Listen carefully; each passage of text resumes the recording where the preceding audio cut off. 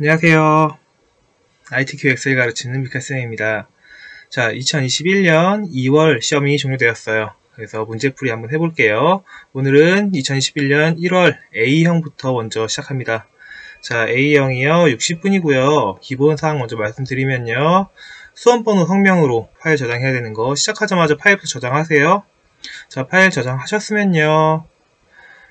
1작업부터 4작업까지 반드시 1작업부터 순서대로 하세요. 라는 거, 뭐, 시험지 그냥 순서대로 쭉 가시면 되고요. A열은 연럽이 1.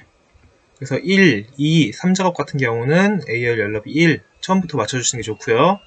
테두리는 출력 형태와 같이 작업하세요. 테두리 같은 경우는요, 특히 1작업하고요, 4작업에 테두리 그 주어진 모양대로 비슷하게 만들어줘야 되는 거 잊지 마시고, 자, 나머지는 출력 형태 따라서 그리고 1, 2, 3, 4작업 띄어쓰기 없이 입력하는 겁니다. 그래서 이름 틀리지 말고 하시면 좋겠고요.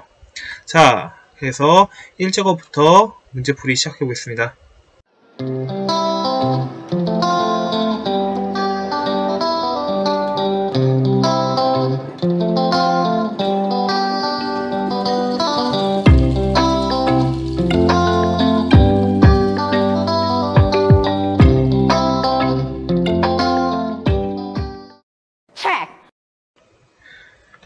자, 2021년 2월 A형 계절 가전 히트 상품 정보에 대해서 ITQ 엑셀 강의를 시작해 볼게요.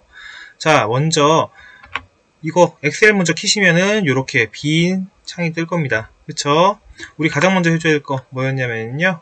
A열은 열 너비 1이래요. 모든 작업 시트 A열은 열 너비 1에서 열 너비 A에다가 오른쪽 클릭 연럽이 눌러서 1 누르시면 됩니다. 하면은 1 됐죠. 자, 요렇게 하고 이름 바꿔줄게요. 뭐였죠? 제1 작업이었죠. 엔터 치시면 돼요. 입력하고 엔터 하면은 이렇게 만들어집니다. 자, 기본적으로 이렇게 만들어진 작업을요. 컨트롤, 왼손으로 컨트롤 누른 채로 이동 하면은 드래그 하면은요. 이렇게 복사가 돼요. 어차피 A열 맞춰놓은 거 한 번에 지금 작업하면 편하니까 지금 바꿔놓는 거예요. 그래서 이 작업 음, 하나 더 복사를 해볼게요. 짠! 제 3작업 4작업은 따로 만들지 않을 겁니다.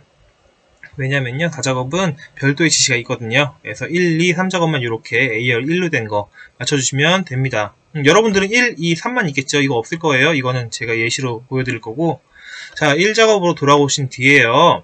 어, 이제 이 내용을 입력할 거예요. 이 내용들을 입력을 할 텐데 어디서부터냐면 B4셀 여기. 자 제품 코드부터 쭉 해서 여기 비고에 있는 J14까지 입력을 해야 되는데 물론 J13 비어 있어요. 이 내용들 먼저 입력을 하는데요. 저는요 개인적으로 이거 연습하실 때마다 타이핑 하셔서 시간 재보시면서 하시는 걸 추천드려요. 왜 그러냐면 실제로 연습하시는 분들 저도 물론 이거 이 파일을 제가 드리긴 할 거예요. 연습 파일을 드릴, 거, 드릴 텐데 이거 직접 쳐, 쳐보지 않고 현장 가셨다가 이거 치는데 생각보다 시간이 많이 소요돼요. 그래서 음, 하실 때마다 자기 그 입력하는 방식이나 뭐 입력하는 방, 그 방향 이런 것들도 자기만의 좀 노하우를 터득하시는 게 좋을 것 같습니다. 연습하시는 뜻이에요. 이렇게 되어 있는 이 파일을 여러분께 드릴 거예요. 이 파일 제가 다시 드릴 거니까 걱정하지 마시고 여러분들 아래에 있는 링크 따라가시면은요 이렇게 되어 있는 파일 연습 문제 파일들 드릴 테니 시간 없으 시간 없으신 분들은 기능적인 부분 이거 늘 연습하시는 거 음, 그냥 그대로 이거 가지고 연습하세요. 자 작업 본격적으로 시작해 볼게요. 이거 여기 조건 들어가기 전에 이 내용부터 먼저 볼게요. 내용 보면은요 뭐 가장 먼저 해줘야 될거 얘랑 좀 비슷하게 만들어줘야 되는데 가장 기본적인 거 높이 먼저 바꿔, 바꿔줄게요 높이를 처음부터 바꿔주는 게 좀 깔끔하더라고요. 그래서 높이 먼저 바꾸면요. 전체를 잡는 거 여기 누르시면 전체 잡혀요. 여기 클릭하시면 전체 그리고 1, 2, 3 있는 이 부분에서 오른쪽 클릭 음, 아무 데나 하셔도 돼요. 행 높이를 바꿔줄 겁니다. 행 높이 클릭해서 전체 행 높이는요. 저는 20으로 바꿔줄게요. 바뀌었나요? 음, 전체 행 높이 20 그리고 여기에 요 네모가 들어갈 요만큼 요 그림이 들어갈 요 부분이 1, 2, 3행이에요. 1, 2, 3행 오른쪽 클릭 행 높이를요 20으로 25로 바꿔줄게요. 그러면 여기 적당히 되더라고요. 그리고 타이핑 하다 보면 직접 타이핑 하시면 알겠지만 여기 두 줄이에요. 그쵸? 여기도 두 줄이고 음, 두 줄인 거 일단 한번 해볼게요. 얘 소비 전력이죠. 자 치실 때 여러분 타이핑 하실 때 더블 클릭하시거나 F2 누르시면 들어와요. 자 여기서 요 소비 전력하고 음, 밑으로 내려가잖아요. 엔터 치면은 그냥 내려가요. 음, 그냥 여기서 엔터 치면 그냥 내려갑니다. 이렇게 쓰면 안 되고요.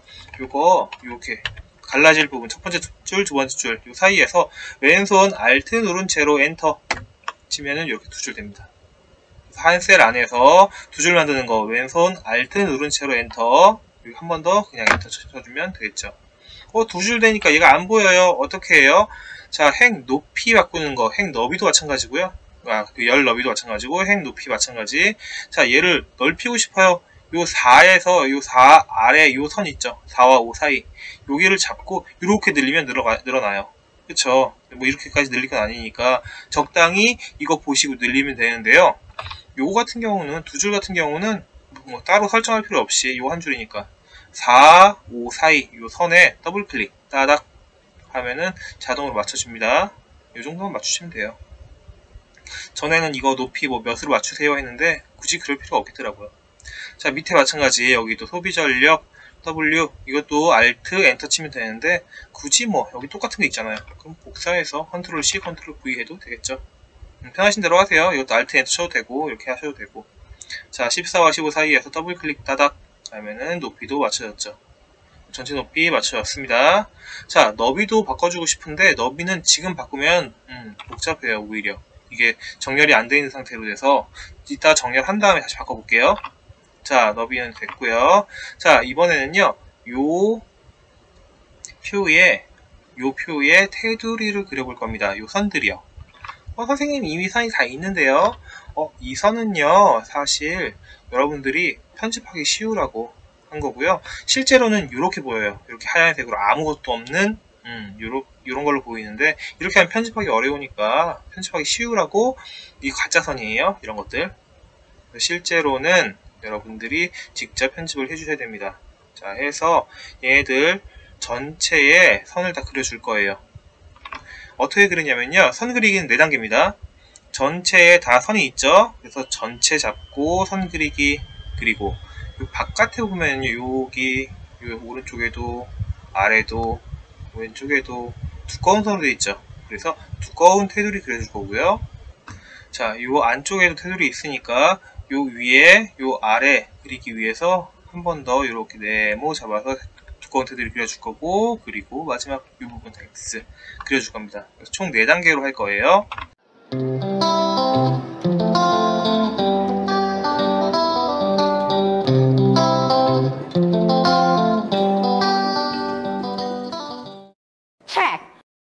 자 보시면요 여기 전체 다시 전체 잡아주시고 테두리는 여기 있습니다. 여기 있어요. 여기, 여기 화살표 클릭해보면 테두리가 쭉 있습니다. 그 중에 모든 테두리 음, 모든 테두리 클릭 하면 전체 테두리 잡히죠. 자 전체 테두리 잡았고요. 이 상태 이대로 바깥쪽 테두리 두꺼운 걸로 해줄 거예요. 다시 한번 테두리 여기 눌러주면은요. 굵은 바깥쪽 테두리 있습니다.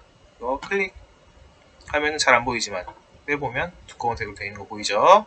자 됐어요. 두꺼운 바깥쪽까지 했고 안쪽 요거 하고요.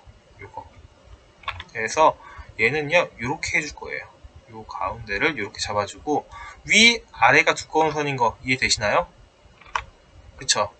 그런데 굳이 뭐 위 아래 두꺼운 선 할 거 없이 이 상태 이대로 다시 한번 굵은 바깥쪽 테두리 눌러주면은요 왼쪽 오른쪽은 원래 두껍잖아요 그쵸? 그리고 위아래 새로 두껍게 되는 거고 하니까 이렇게 굵은 바깥쪽 테두리를 한 번 더 클릭을 해서 해주는 게 훨씬 편합니다. 그리고 마지막 여기 X잖아요. 그쵸? 여기 X를 하려고 했더니 어? 두 칸이야. 이거 뭐지? 어떻게 해야 되지? 얘는요. 지금 합쳐진 거예요. 셀 병합이 됐다고 하거든요. 어? 셀 병합이 된 게 이것만 있는 게 아니네? 보니까 여기도 셀 병합 그쵸? 여기도 돼 있고요. 여기도 돼 있고 여기도 돼 있어요. 네 군데. 그쵸? 자, 네 군데 셀 병합 먼저 해줄게요. 자, 하나, 둘, 세 칸 잡아주고요. 맞죠? 하나, 둘, 세 칸. 자, 세 칸 잡아주고 위쪽에 여기 병합하고 가운데 맞춤 클릭. 밑에도 세 칸 병합하고 가운데 맞춤. 여기 X에요. 병합하고 가운데 맞춤. 여기도 세 칸 병합하고 가운데 맞춤. 이렇게 해서 총네 군데입니다. 하나, 둘, 여기도 셋, 그리고 여기 넷. 항상 똑같은 위치에 이 네 군데가 있으니까 알아두시면 돼요. 연습 몇 번 하시면은 익숙해지실 겁니다. 네 칸 다 합쳐졌고요. 지금 우리 뭐 하고 있었냐면 여기 X 그리고 있었어요. 그쵸? 요거. 자, 다시 그대로 가서 X 그릴 거예요. 위에 테두리 짠 눌러보면은요. 어, X는 없어. 어디 있냐면요. 다른 테두리에 있습니다. 예시 없으니까 다른 테두리 클릭. 하면은 여러 가지 선 그리는 게 여기 있는데 여기 여기에 대각선 있어요. 이쪽에도 대각선이 있어요. 그래서 X가 확인 누르면 완성됩니다. 하면은 선 그리기는 끝. 어, 선생님, 얘는 오른쪽으로 가로로, 가로로 넓고, 얘는 세로로 넓고 하는데, 다른데 어떻게 해요? 이거 너비는요, 이따가 바꿔줄 거라서 지금 신경 안 쓰셔도 돼요. 음, 모양만, 이, 나와 있는 모양만 제대로 나와 있다면 상관없어요. 마지막에 다시 한번 다 총 정리할 거니까요. 걱정하지 마시고 넘어갈게요. 자, 해서 선까지 다 그렸어요. 그러면 이제 어느 정도 된 거예요. 음, 기억하세요. 처음에 나와 있지 않아도 A열 바꿔주는 거, 그 다음 시트 만들어주는 거, 그리고 내용 입력하시고요. 선 그려주고 셀 병합해주고요. 이 정도만 해주시면 아 높이 바꿔주는 거. 음, 기본적인 것만 해주시면은 어, 하시는데 문제 없고요. 지금 만약에 저처럼 음, 혼자 하는데 기억이 안 난다. 그러면은 굳이 뭐 당황하실 필요 없어요. 이거 어차피 마지막에 제출하기 전까지만 수정하면 되는 거니까 작업, 작업 진행하시다가 기억나면 하시고 또 기억 안 나면 쭉 문제 따라서 이 조건 따라서 쭉 가시다가 또 수정하시고 하시면 돼요. 음, 괜찮습니다. 자 여기까지 입력이 됐으면요. 계속 조건을 보고 따라갈게요. 자, 첫 번째, 모든 데이터의 서식에는 글꼴 굴림이래요. 굴림 11포인트. 어, 글꼴 11포인트. 자, 전체를 잡으려고 이렇게 잡아서 막 작업을 하려고 하는데 굳이 이러지 마세요. 그냥 전체를 잡으시면 돼요. 이렇게. 여기 누르면 전체 잡힌다고 했죠? 전체 잡아주시고요. 글꼴은 위에 있어요. 맑은 고득되어 있네. 자, 이거를 화살표 눌러서 찾으셔도 돼요. 굴림 여기 있네요. 요거 클릭하셔도 되고요. 음, 두 가지 방법. 첫, 번, 첫 번째는 얘를 잡아서 이 화살표를 눌러서 클릭하셔도 되고요. 두 번째는 그냥 여기 클릭해서 굴림 써주셔도 돼요. 그리고 엔터를 짠 쳐주시면 굴림으로 바뀝니다. 바뀌었죠? 두 가지 중에 아무거나 하셔도 돼요. 편하신 거 하시는데 저는 이거 치는 게 빠르더라고요. 오타 없이 치시면 돼요. 편하신 걸로 하시고요. 글꼴 굴림 그리고 11포인트래요. 11포인트 여기 그대로 11포인트니까 그대로 두시면 되고요. 해서 얘는 됐으니까 이렇게 지워주시면 됩니다. 실제로 여러분들도 이거 ITQ 엑셀 가, 그 작성 뭐야 문제 하시면요. 문제지를 받잖아요. 문제 종이로 된 거 받으실 거예요 큰 걸로. 그러면 어차피 종이 내고 와야 돼요. 내가 못 가져와요. 그러니까 마음껏 낙서하시고요. 이렇게 하나씩 체크하시면서 지워가면서 하시는 게 오류 없이 놓치는 거 없이 잘 진행할 겁니다. 그래서 이렇게 하시는 버릇을 들이시면 좋을 것 같아요 음. 자, 정렬은요, 숫자 회계 서식은 오른쪽, 나머지는 가운데 정렬이라고 해요. 무슨 얘기냐면요, 위에 봐봐요. 얘, 지금 가운데 돼 있죠. 얘도 가운데 정렬돼 있네. 얘도 가운데로 뭉쳐있고, 얘도 가운데. 어, 얘는 오른쪽으로 뭉쳐있네요. 얘도 오른쪽 돼 있네요. 얘는 가운데고요. 그러니까 보통 것들은 다 가운데고요. 요렇게 가격, 돈 돼 있는 거, 전력, 숫자잖아요. 숫자, 이런 것들. 만 오른쪽으로 돼 있어요. 그쵸? 어, 이거 기억하시고 이거 여기에 있는 것들 다 수정을 해 주실 건데요. 어, 선생님 아까부터 물어보고 싶었는데 저는 이거 입력할 때 쉼표를 넣는데 왜 선생님 쉼표 없어요? 이거 ITQ 엑셀 하실 때는요 쉼표 쓸 일이 거의 없어요. 거의 없고요. 쉼표는 딱히 안 써주셔도 마지막에 한 번에 형식으로 바꿔줄 거라서 그냥 숫자만 다 입력하세요. 이렇게 입력하시면 돼요. 숫자만. 음, 쉼표 없이 입력해 주시면 됩니다. 자, 정렬을 해보면요. 숫자 회계는 오른쪽, 나머지는 가운데 정렬. 바꿔 얘기하면요. 전부 다 가운데 정렬, 그리고 숫자 회계만 오른쪽으로 바꿔주면 되는 거예요. 이 되시죠? 음, 해서 이렇게 한번 해볼게요. 이거 한번 해볼게요. 그래서 정렬. 자, 전체 여기죠. 전체 잡고요. 정렬, 가운데 정렬은 여기 있어요. 정렬, 가운데 뿅. 자, 다 가운데 정렬, 아이고, 두 번 눌렀네. 음. 자, 가운데 정렬 됐죠? 다 가운데로 뭉쳤어요. 그 중에 아까 뭐였냐면은 가격과 소비 전력 얘네 둘만 오른쪽 정렬이었네. 가격 얘와 얘만 이렇게만 가운 아 오른쪽 정렬 짠 하면은 끝 쉽죠?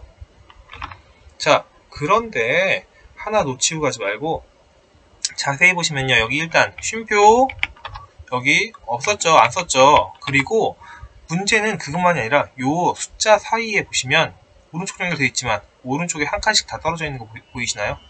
얘도 오른쪽에 한 칸씩 떨어져 있어. 엑셀은요? 다 붙어 있습니다. 이게 왜 그러냐면은 이유는 요 형식 때문에 그래요. 여기에 형식이 달라져 가지고 그러는 건데 우리는 복잡한 거 신경 쓰지 말고요 그냥 이렇게 오른쪽 정렬 했잖아요 오른쪽 정렬 했으면 요 위에 쉼표 여기 있어요 쉼표 쉼표를 한번 클릭을 해주세요 그러면 자동으로 쉼표가 다 붙고요 오른쪽에 한 칸이 떨어지게 됩니다 보이시나요? 그쵸? 이렇게 형식이 만들어지는 겁니다. 이렇게 하면은 요 지문은 끝난 거예요, 사실. 그래서 그냥 이렇게 그어도 상관은 없습니다. 그러나 하나 기억하고 넘어가시면 좋을 게 여기 안 보이는 부분 있죠. 순위, 비고, 뭐 평균, 전력 여기 이 함수 들어갈 부분이거든요.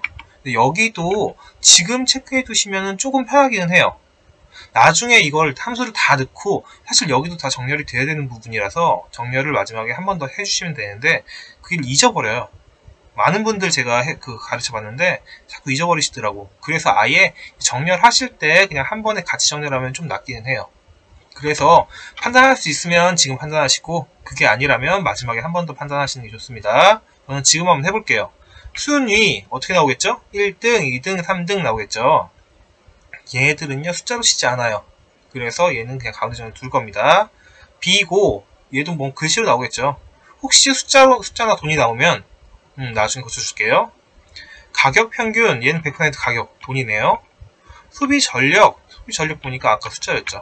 그쵸 3, 4번은 오른쪽 정렬 돼야 되는 거고 아 지금 할게요 그냥 얘네 둘도 안 보이지만 오른쪽 정렬 눌러주고요 쉼표를 한번 눌러줄게요 그러면 눈에 보이진 않지만 여기 회계로 바뀌었어요. 원래는 다 이렇게 일반돼 있거든요. 근데 회계로 바뀌어놨습니다. 그래서 이따가 여기 뭔가 입력을 하게 되면은 바뀔 거예요. 자, 여기요. 5번. 두 번째로 큰 가격이네요. 여기도 돈이겠네. 여기도 소비 전력이네요. 둘 다 똑같이 얘네 둘도 오른쪽 정렬에 심표. 심표까지. 됐죠? 이렇게까지 하면은 좀 더 깔끔하게 정리가 된 겁니다. 됐나요? 음. 자, 다음 넘어갈게요. 예외적인 거는 출력에 참조하라는데 지금 거의 다 했고요. 마지막에 다시 한번 볼 거라서 일단 둘게요.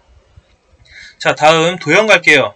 도형은요, 여기 제목, 도형, 어쩌고저쩌고 나와 있는데 이 도형이 뭐냐면 바로 이거예요. 음, 요 위에 나와 있는 요게 제목이에요. 제목 도형이에요. 자, 이렇게 생긴 걸 찾으려고 하는데 뭐냐면 양쪽 모서리가 잘린 사각형이라고 나와 있어요. 음, 이거 한번 찾아볼게요. 자, 도형은요. 여기 위에 삽입에요. 도형 일러스트레이션에 도형 이렇게 있습니다.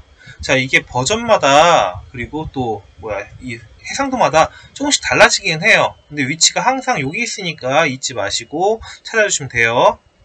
자, 도형 눌러보면은요, 어, 사각형이었어. 어, 사각형 여기 있다, 사각형. 어떤 거지? 라고 했을 때, 모양 보시고 찾을 수 있으면 제일 빠르고요.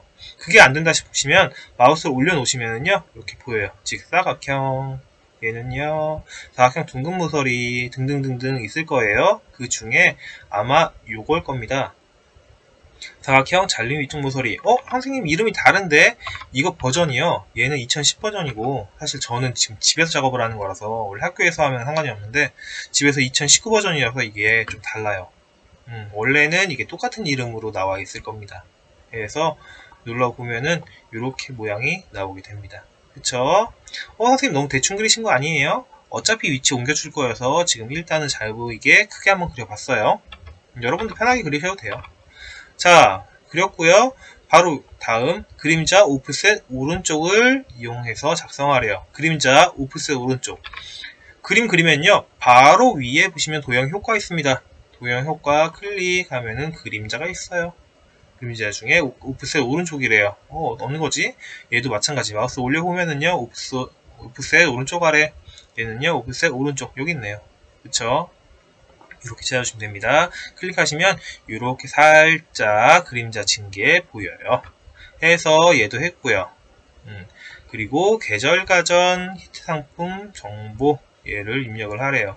그래서 이렇게 입력을 하래요. 계절 가전 히트 상품 정보.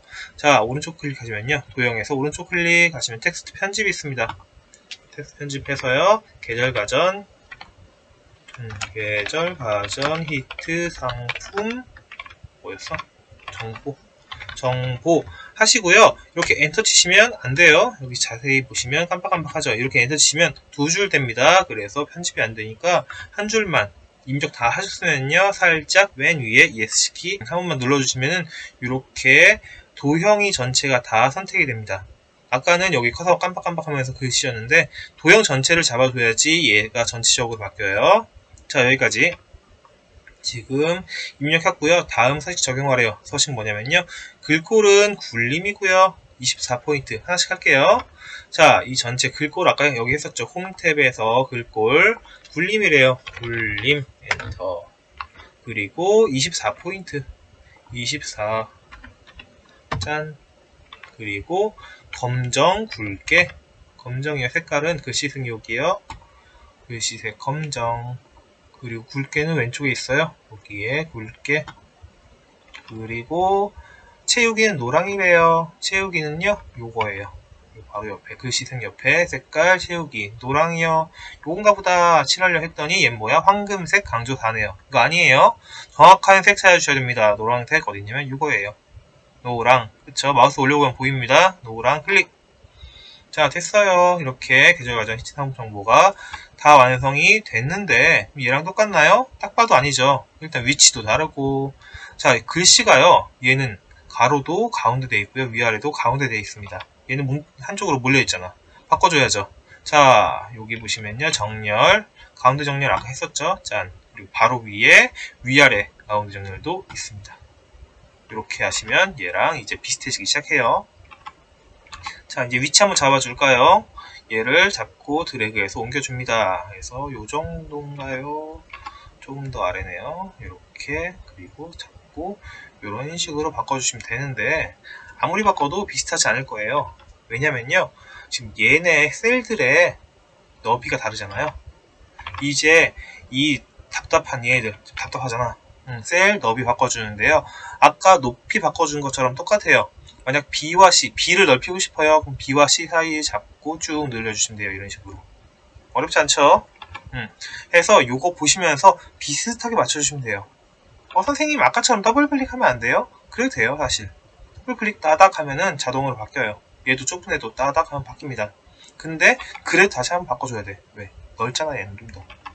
얘는 지금 좁잖아요. 조금 더 넓혀줘야 해서 어차피 한 번더 손을 봐야 되더라고. 그래서 굳이 더블 클릭 안 해도 이거 보시고 대충 비슷하게 넓이 잡아주시면 돼요.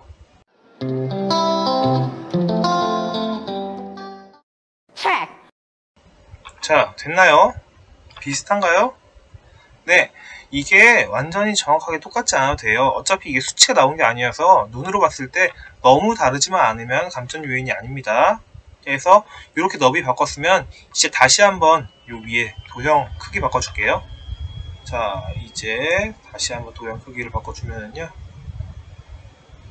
대충 요 정도고 옆에는 이쪽 끝에는 G 가운데, 소비전력 가운데, 소비전력 가운데 요 정도 맞춰주면은 어 이제 조금 비슷해지네요. 그쵸? 음, 이렇게 하시면 됩니다. 하면은 요 나와 있는 제목도 자, 이미SL의 결제란 작성해서 그림으로 복사 기능 이용하여 붙여넣으세요. 결제란은요, 딱 봐도 이거죠. 네, 요거 그대로 만들어 볼 텐데요. 다른 것보다 이미SL 아무데나 하시면 돼요. 아무데나 작성하시면 되는데 마지막에 원본 삭제를 해야 돼요. 이게 관건이라 아무 데서나 작성하셔도 되는데 이런 중간에 작성하시면은 원본 삭제할 때 좀 힘들더라고요. 그래서 저 같은 경우는 요 아래에 시트를 새로 하나 만들 겁니다. 새 시트 아무거나 만들어 주시고요. 여기 아무 데서나 아무 데서나 작성을 시작해 볼게요.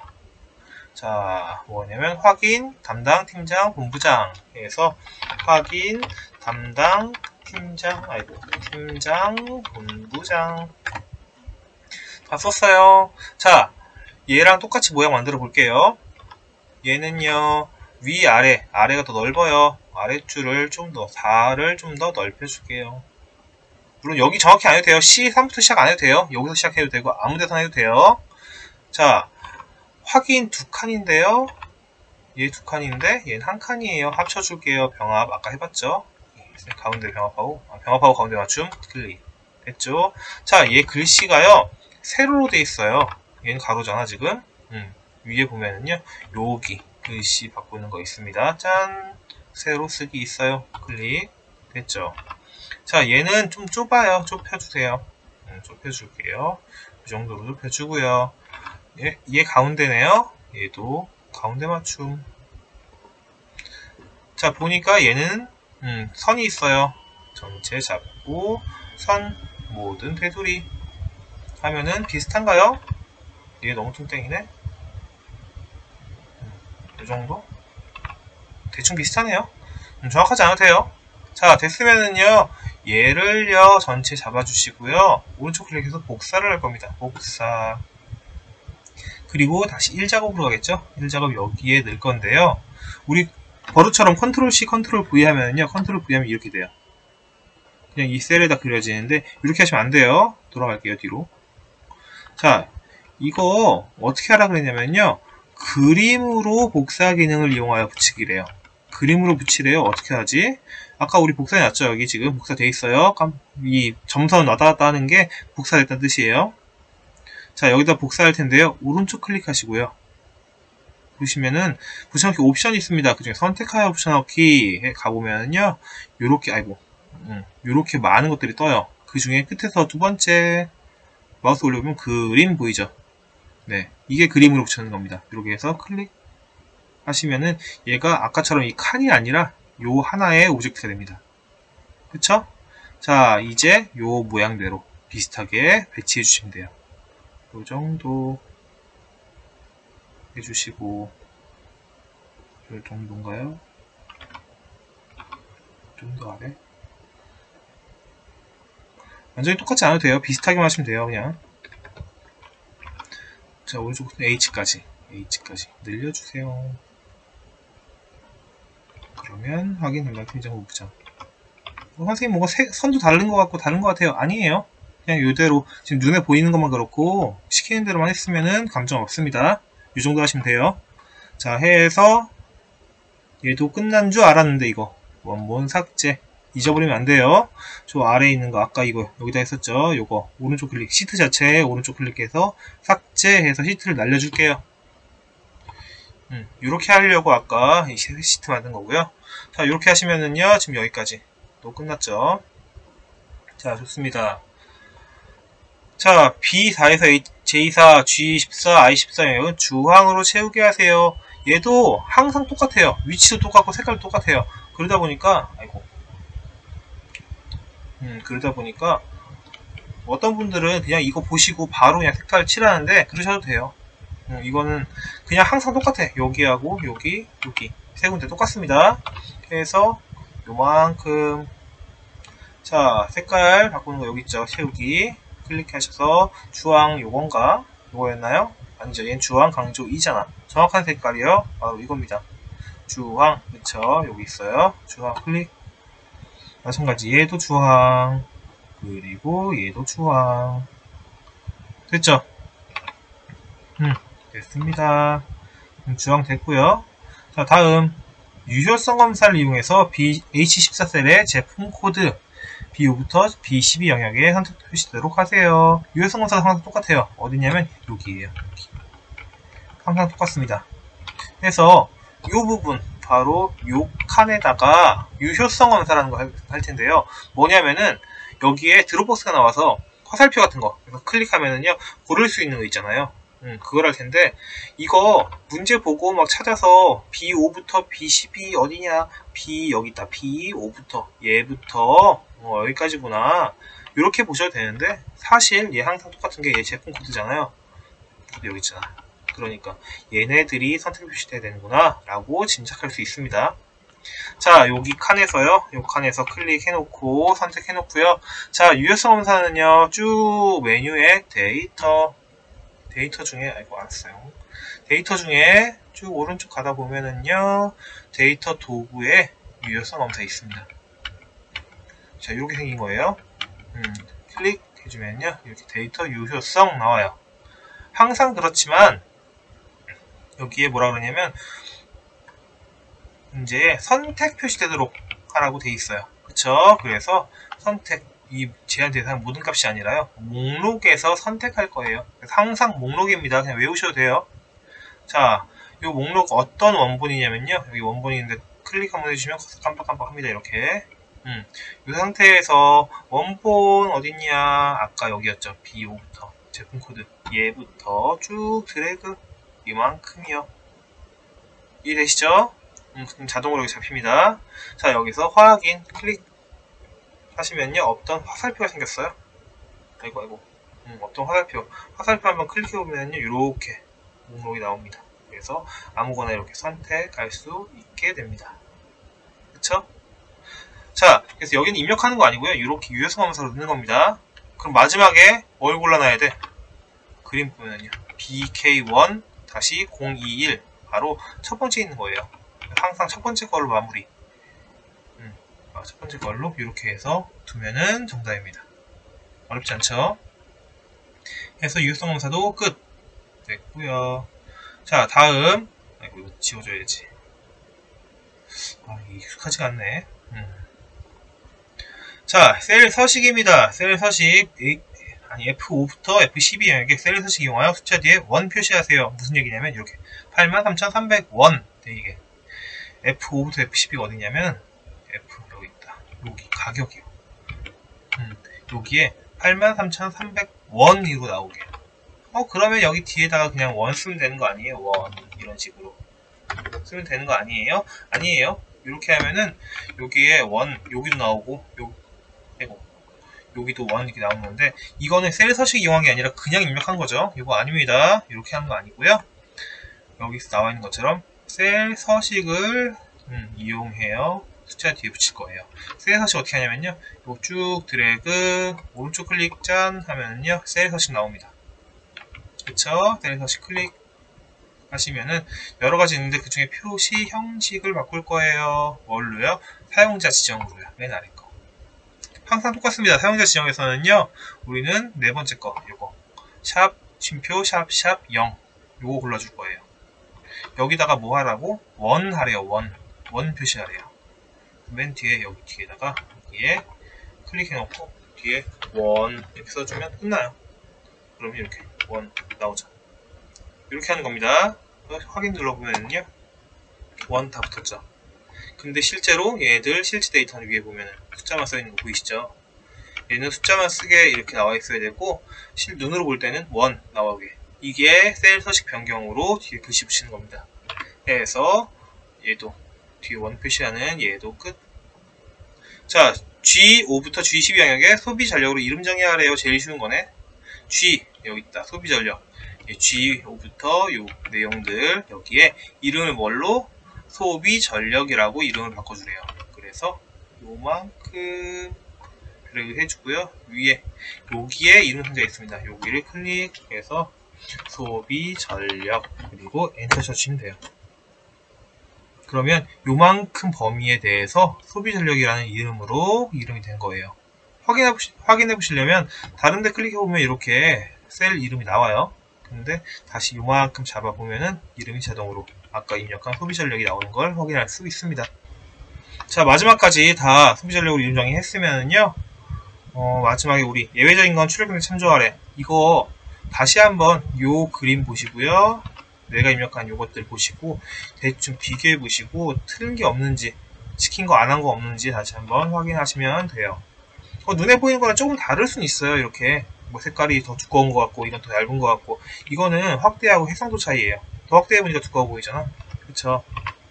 음, 이거는 해상도 차이라서 이런 게 아니라 내가 대로 잘 했으면은 상관이 없어요. 됐죠? 음, 다른 게 없는 것 같아요. 하면은 첫 번째 이거 표서지 작성 완료했습니다.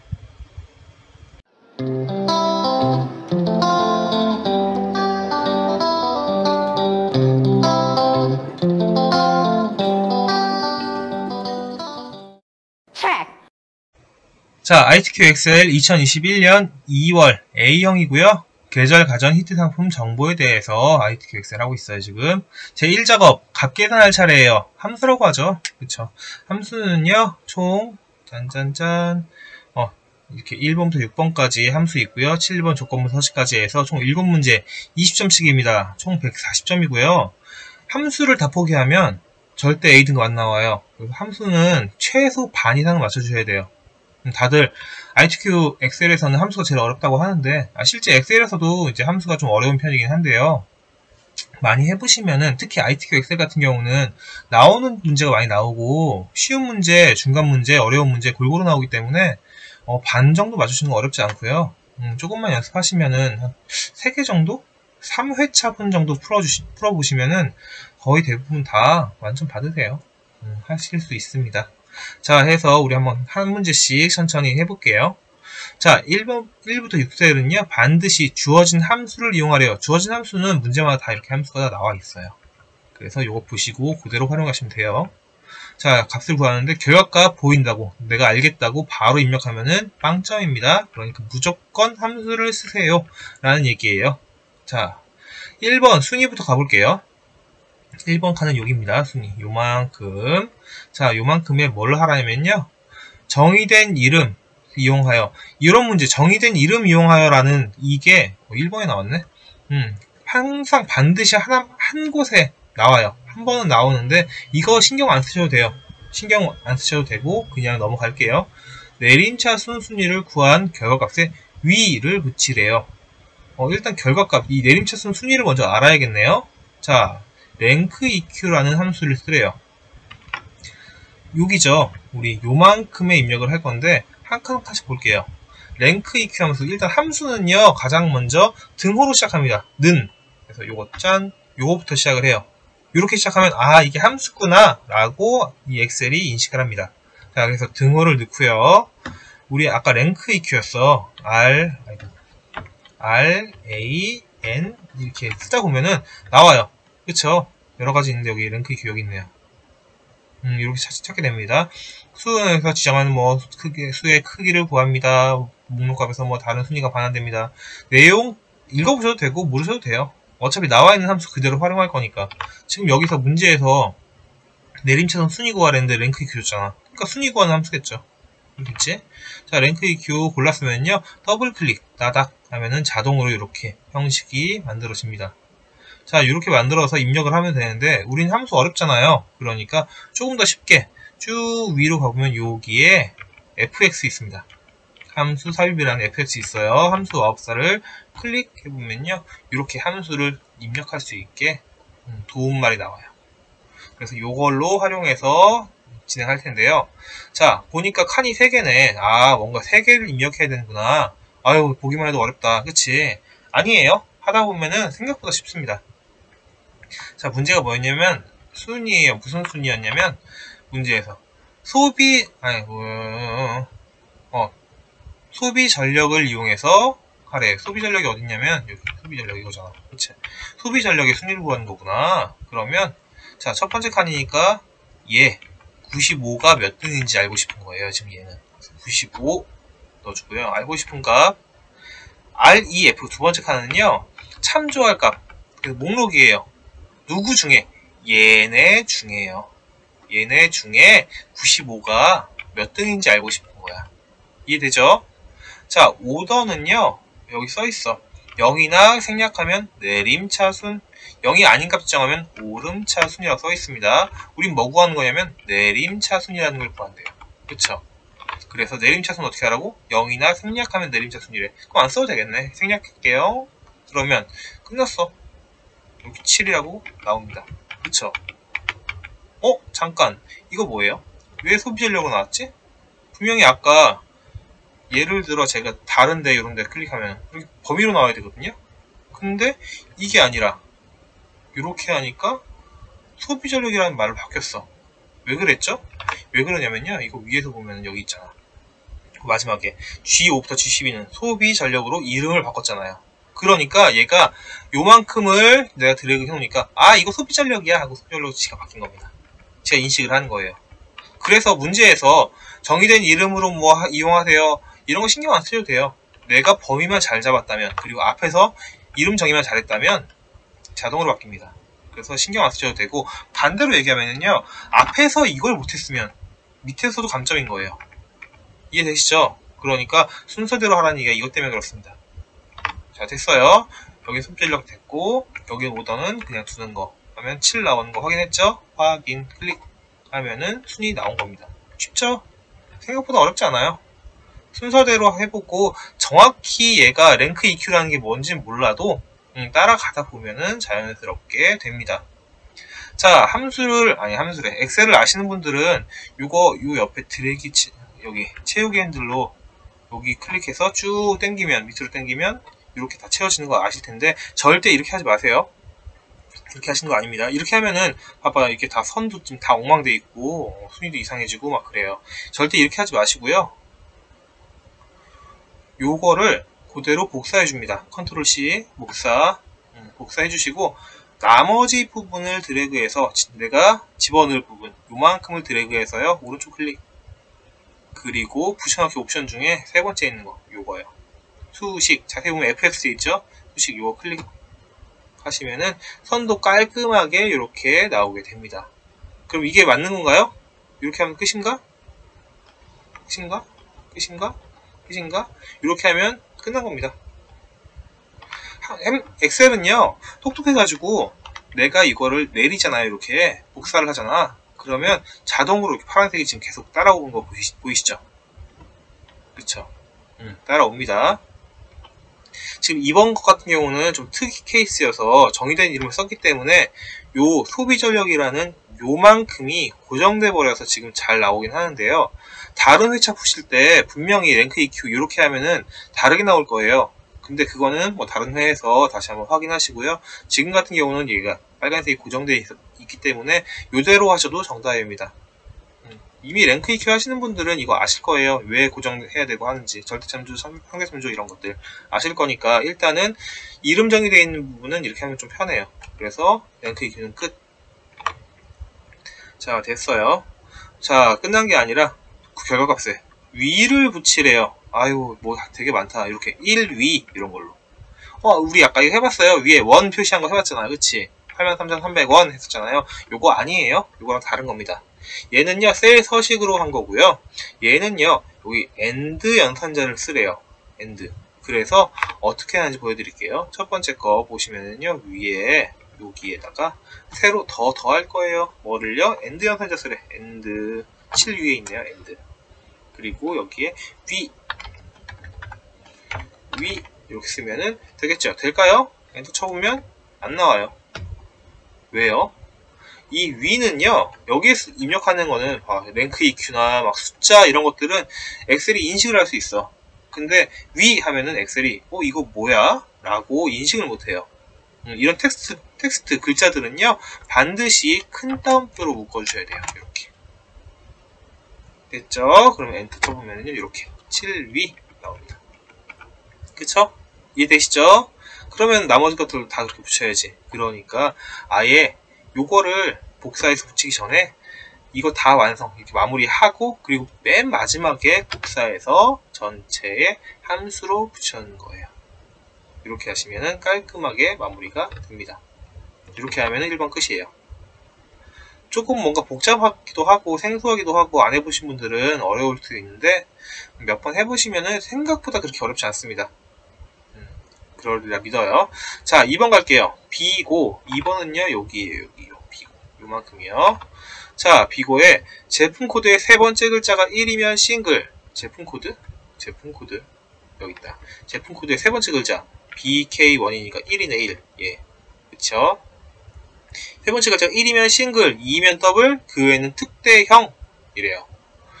음, 이거 첫 번째 거 보니까 BK1 이거 1 1이니까 얘는 싱글 두 번째 거 얘는 2니까 더블 3이니까 얘는 특대형이겠네 그쵸 이런 식으로 나오겠네. 어, 싱글 싱글 싱글 더블 더블 뭐 이런 식으로. 음, 이해되시죠? 근데 안다고 여기에 직접 입력하면은 빵점입니다. 함수 쳐야 돼요. 함수는 뭘 줬냐면 if 함수와 mid 함수를 줬어요. 자 함수 뭔지 한번 볼게요. 하나씩. 자 if. 만약이라는 뜻이죠. if. 음, 논리검사 수행에서 true나 false에 해당하는 값을 반환합니다. 자, 더블 클릭 해 볼게요. 함수 뭔지 일단 보는 거예요. 위에 보면은요, fx 클릭 해보면 다시 똑같이 나옵니다. 자, logical test는요, 논리예요. 그래서 어떤 식, 값이나 식이 나와요. 예를 들어 뭐, 1 더하기 1은 2. 이거 맞는 얘기인가요? 맞죠? 이거 true로 나오잖아요. 만약 1 더하기 1이 3 쓰면 아니잖아. 홀스잖아. 이런 조건이 나와요. 판정할 값이 나오고요. 자, 두 번째는요. true일 때, true일 때 값. 맞을 때면 1 나와라. false, 틀릴 때면 2 나와라. 이렇게 지정을 해주는 거예요. 그래서 요 식이 지금 틀렸잖아. 그래서 false로 나왔잖아요. 그래서 틀릴 땐 2 나오라 했잖아. 그래서 2 나온 거예요. 만약 1 더하기 1은 2잖아요. 맞는 값이잖아. 그러니까 맞을 땐 1 나오고 틀릴 땐 2 나와라고 했으니까 맞았으니까 1 나왔잖아. 이해되시죠? 이 함수는 이렇게 쓰는 겁니다. 자, 지울게요. 자, 다음 무슨 함수야? mid 함수네요. 자, 는 mid 문자열 지정 위치에서 숫자, 문자를 지정한 개수만큼 돌려줍니다. 무슨 얘기냐면요. 더블 클릭해서 함수 마법사를 눌러보면은요. 자, 텍스트 어떤 글자요? 예를 들어 요거 합시다. 요거요. BO 요 글자예요. 요 글자인데요. start number 몇 번째요? 음, 몇 번째 글자? 음, 몇 번째? 우리 세 번째 BK1의 세 번째 글자가 1인지 2인지 3인지 확인하는 거잖아요. 그래서 세 번째 글자예요. 자, 세 번째 글자인데 몇 개나 필요해요? 뭐몇개 필요해? 하나 필요하잖아. 하나요. 그러니까 뭐 나와? 1 나오는 거잖아요. B 1, 2, 3, BK1 중에 세 번째에서 하나만 주세요. 라고 1. 만약 세 번째에서 2 했으면 어떻게 될까? 2 하면 1 다시인 거 이해돼요? 이게 3이라면 3 1 다시 0 이해되십니까? 만약에 start number가 1, 2, 3, 4라고 칩시다. 4예요. 그러면 1, 2, 3, 4, 5라고 합시다. 5, 5예요.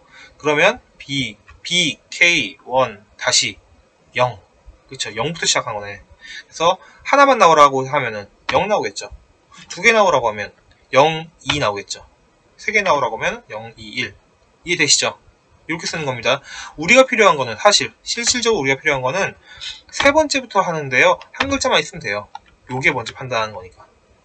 mid 함수는 요 세 번째 글자 요걸 판단하기 위한 함수네요. 이해되시죠? 자, 이제 if하고 mid 함수 활용해서 여기 이제 집어넣을게요. 자, 제품 코드 세 번째 글자가 1이면 싱글, 2면 더블. 그러니까 제품 코드 세 번째 글자 먼저 파악하는 게 중요하죠. if mid 함수 if부터 갈게요. if 만약에 더블 클릭 해보면요. 이렇게 등호 if 가로 열고 어쩌고저쩌고 있는 거예요. 이게 함수의 기본 모양이고요. 함수 클릭해서 이제 이 안에 가로 안에 뭘 넣을까 요거의 세 번째 글자잖아. 그쵸? 세 번째 글자 찾는 거 아까 미드였죠? 그래서 함수 안에 함수 집어넣을 수 있습니다. 미드하고 어쩌고저쩌고 넣으려니까 기억이 안 나. 음, 가로 열고 어쩌고저쩌고 넣어야 되는데 기억이 안 나. 어떡하지? 모르겠으면 일단 확인 누르세요, 그냥. 에러 날 겁니다. 괜찮아. 확인 누르세요. 그러면 위에 보시면 이렇게 mid 어쩌고저쩌고 할 수 있게 지금 이렇게 뜹니다. 음, 만약 안 뜨면은 마우스를 이렇게 왔다 갔다 해보시면서 mid 이 함수가 나올 때까지 음, 커서 옮겨보세요. 나왔죠? 나왔으면 그대로 함수를 한 번 더 누르면요.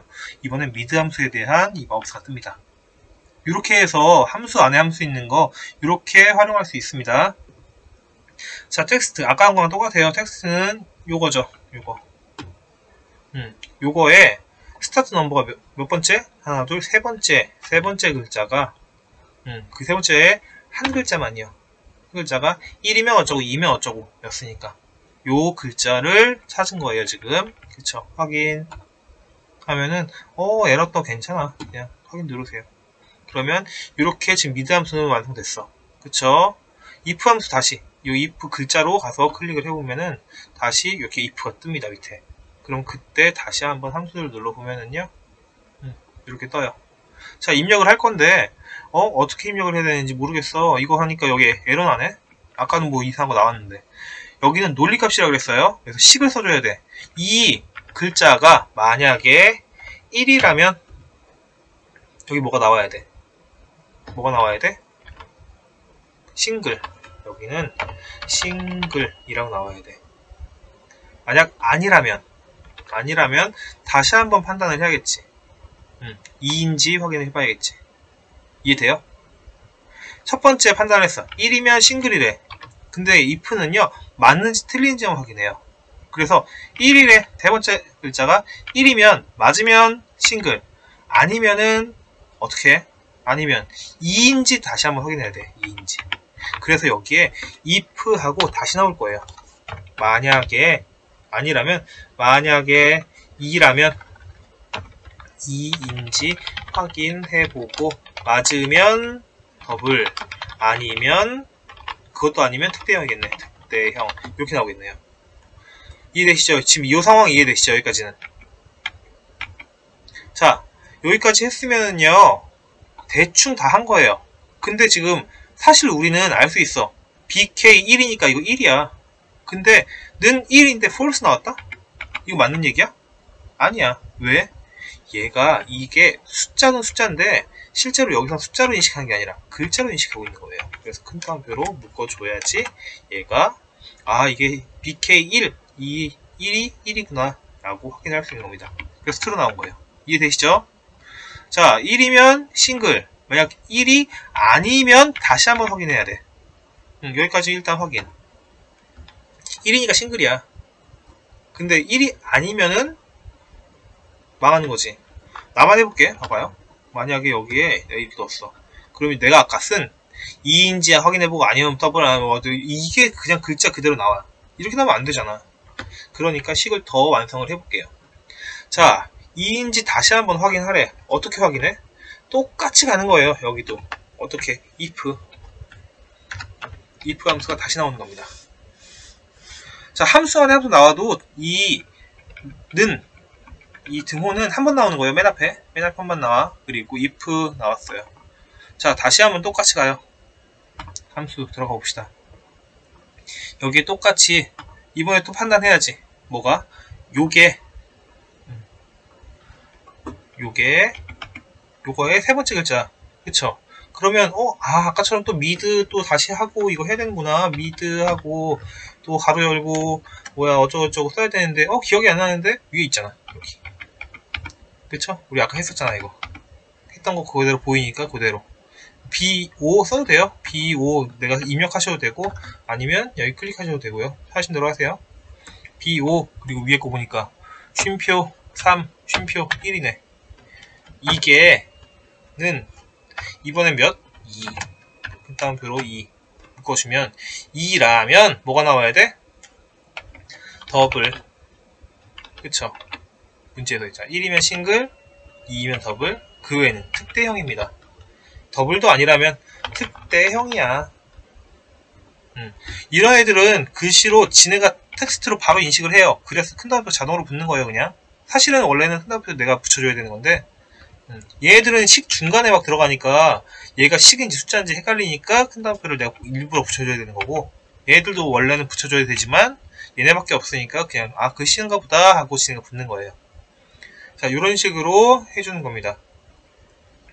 이해되시나요? 자, 됐으면 확인. 어, 확인. 자, 식을 보면은요, 위에 거 보고 해석을 해볼게요.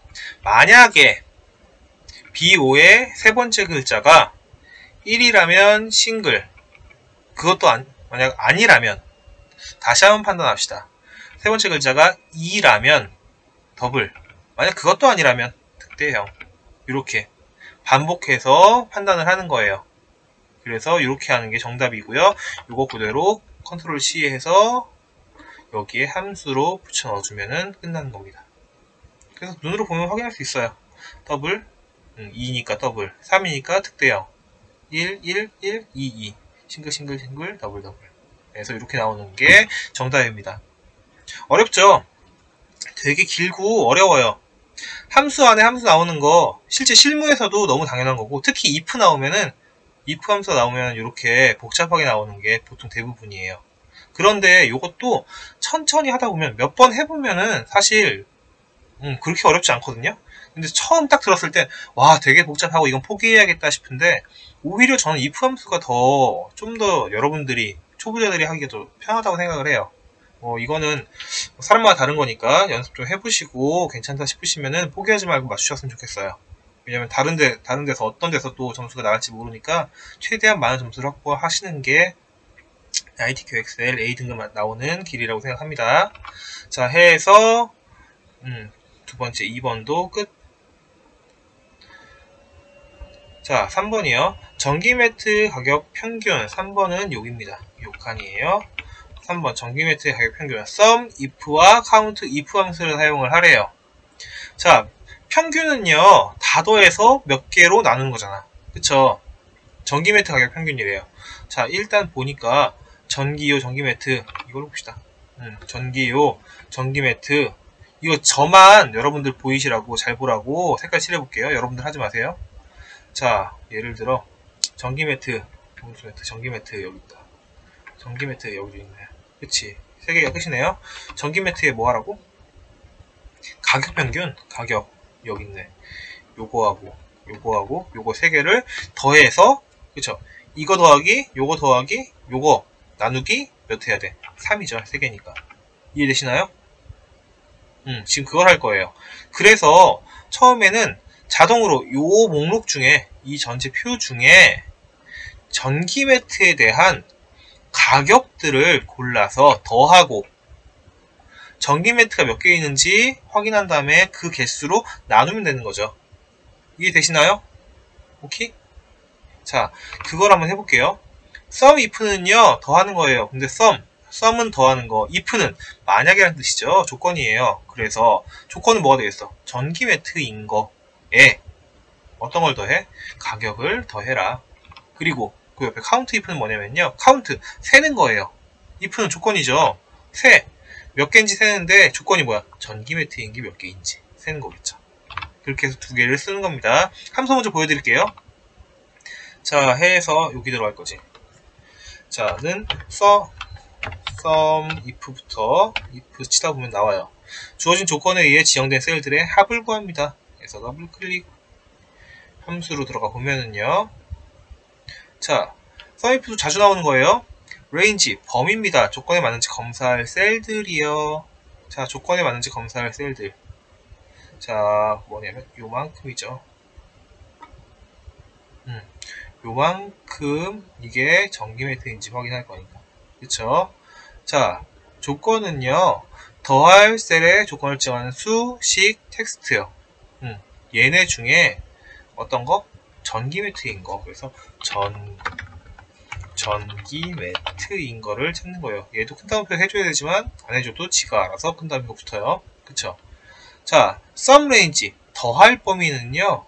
실제 구하고 싶은 거 요거 중에 더해야 돼요. 라는 거. 이해되시나요? 지금 이 상황? 처음에 레인지는요. 내가 구할 조건이 있는 거 그러니까 전기 매트가 있는 얘네들 중에 두 번째 전기 매트. 전기 매트가 어디 있어요? 찾았어. 땅땅땅. 이게 세 개 있어.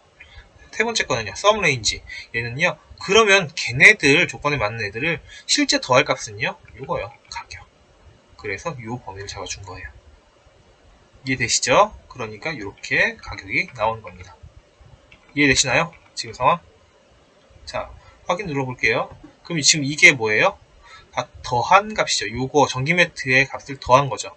근데 더한 게 아니라 평균 구하는 거잖아, 우리는. 그러면 나눠줘야 돼. 뭘로? 3으로 나눠줘야 돼. 근데 내가 3 입력하면 틀리는 거예요? 안 됩니다. 뭘로 해야 돼? count if라는 걸로 해야 돼. 그럼 이 뒤에 여기 여기 다시 할게요. 여기다가 짠 나눠줄 거야. 나누기는요 슬래시예요. 음, 함수에서 엑셀에서 곱하기는 별이고요. 나누기는 슬래시입니다. 네, 나누기 그래서 뭘로 나눌 거예요? 뭘로? count if라는 걸로 써, 써볼게요. count count if 하다 보니까 나왔다 여기 있다. 음, 지정한 범위 내 조건에 맞는 셀의 개수를 구합니다. 더블 클릭해보면은요 count if 나옵니다. 그리고 다시 함수를 눌러보면 count if 함수 range 범위는 어디예요? 지금 어떻게 할 거냐면 요 범위 중에 전기 매트인 거 criteria 조건입니다. 전기 매트인 거를 구해볼 거예요. 몇 개? 세개 나오죠. 이해됩니까? count if는요 범위 내에 그 조건에 맞는 게 몇 개 있는지 카운트하는 거예요. 세는 거. 그래서 이렇게 세니까 3 나왔고요. 확인을 눌러보니까 이렇게 요 세 개를 더해서 3으로 나눈 값이 떴습니다. 이렇게 하면 끝인 거예요. 이게 함수가 두 개 있어서 어렵긴 한데 함수는 항상 생각하셔야 돼요. 내가 어떻게 해야겠다. 지금 제가 한 것처럼 전기 매트 가격 평균 비거니, 평균이니까 전기 매트가 뭐 있는지 아 요거구나. 그러면 여기 있는 조건들을 찾아서 여기를 더하고 그리고 나서 세 개로 나눠야 되는데 그 세 개 어떻게 구하냐? count if로 아 여기서 전기 매트인 걸 골라서 몇 개인지 세는 거구나. 그래서 나누면 되겠네. 라고 머릿속으로 생각이 들어야 됩니다. 물론 이게 처음에 쉽지 않아요. 몇 번 하셔야 돼요. 반복해서 연습하시면 충분히 잘 하실 수 있을 거라 믿습니다. 자, 3번 끝났고요. 이 색깔은 다시 없애줄게요. 자, 좋아요. 4번 갈게요. 얘도 끝났고. 자, 전기요 최고 소비 전력. 4번은 6칸입니다, 여기. 전기요의 최고 소비 전력을 구하래. 전기요. 아까 한 것처럼 전기요, 전기요. 여기 있네. 그쵸? 최고 소비 전력. 조건은 입력 데이터를 이용하세요. dmax 함수를 이용하래요. dmax. 앞에 d 붙은 함수들은요, 데이터베이스 함수라고 하고요. 주어진 범위를 잡은 다음 그 범위 내에서 어쩌고 저쩌고 하는 함수고요. d 함수는 거의 매번, 거의 매번, 음, 한 10번 중에 9번은 d 함수는 무조건 한 문제씩 나오는 것 같아요. dmax, 뭐 dsum, daverage 어쩌고 저쩌고. 음, 그래서 d 함수 어떻게 하시는지 알아두시면은 거의 한 문제는 반드시 맞추신다고 보시면 돼요. 자, 전기요 최고 소비 전력. 아까처럼 색깔 한번 칠해볼게요. 전기요. 여기 있다. 전기요. 그리고 여기 있다. 전기요. 여기 전기요 있네요. 얘들의 최고 소비 전력. 소비 전력 여기 있네. 얘와 얘와 얘. 요 세 개. 95, 120, 100, 150. 그 중에 최고니까 150이 여기 나와야겠네. 이해되시죠? 뭔지. 음, 얘를 함수 써야 돼. 함수 하나니까 좀 쉽겠네, 이번에. dmax라는 함수예요. 써볼게요. d, dmax. 나왔다. 자, 지정한 조건 내 데이터베이스의 필드 값 중 가장 큰 수 구하는 겁니다. dmax 더블 클릭. 자, 함수 눌러보면은요. 이렇게 dmax 데이터베이스 나옵니다. 데이터베이스는 조건의 범위인데요. 범위 잡을 때는요. 크게 두 가지로 해요. 어떤 선생님들은 처음부터 그냥 외우세요. 이렇게 항상 이렇게 해요. 라고 하시는 분도 계시고요. 저 같은 경우는 이렇게 외우라고 하진 않지만 어떻게 해도 상관은 없어가지고 원리를 좀 아셨으면 좋겠어요. 그래서 저는 이렇게 안 할게요. 자, 데이터베이스 내가 원하는 조건 지금 제가 노란색 칠한 요거 있죠. 여기 전기요야 하는 거. 그리고 원하는 값. 있죠? 그러면 요 메뉴를 포함해서요. 메뉴부터 원하는 값 그만큼만. 이거만 있으면 돼요. 실제로 데이터베이스는 내가 원하는 값 조건부터 찾으려는 값까지만 있으면 됩니다. 그래서 여기서부터 여기까지 메뉴 포함해서요. 이렇게만 잡아주시면 사실은 끝나요. 필드는요 몇 번째 줄에 있나요? 내가 원하는 구하려는 값이 몇 번째 줄에 있어요? 여기 첫 번째, 두 번째 줄, 세 번째 줄, 네 번째 줄에 있네요. 우리는 소비 전력 알고 싶은 거잖아요, 결론적으로. 그래서 숫자는 4입니다. 크라이테리아, 조건이죠. 조건은 뭐였어? 조건은 어떤 거야? 방식이 전기요인 거. 이해되십니까? 이렇게 메뉴부터 방식이 전기요인 거 이렇게 드래그해서 잡아주시면 돼요. 어 선생님 그럼 이렇게 연속으로 안 나오면 어떡해요? 걱정하지 마세요. 이거 100% 연속으로 나와요. 항상 100% 연속으로 나오니까 D 조건에 아, 뭐야 D 함수의 조건은요 항상 이렇게 나옵니다. 부여하니까 150 나왔죠. 이해되시죠? 자, 아까 다른 선생님들이 어떻게 하냐고 했냐면 이 데이터베이스 범위가 이렇게 그냥 외우세요 라고 해.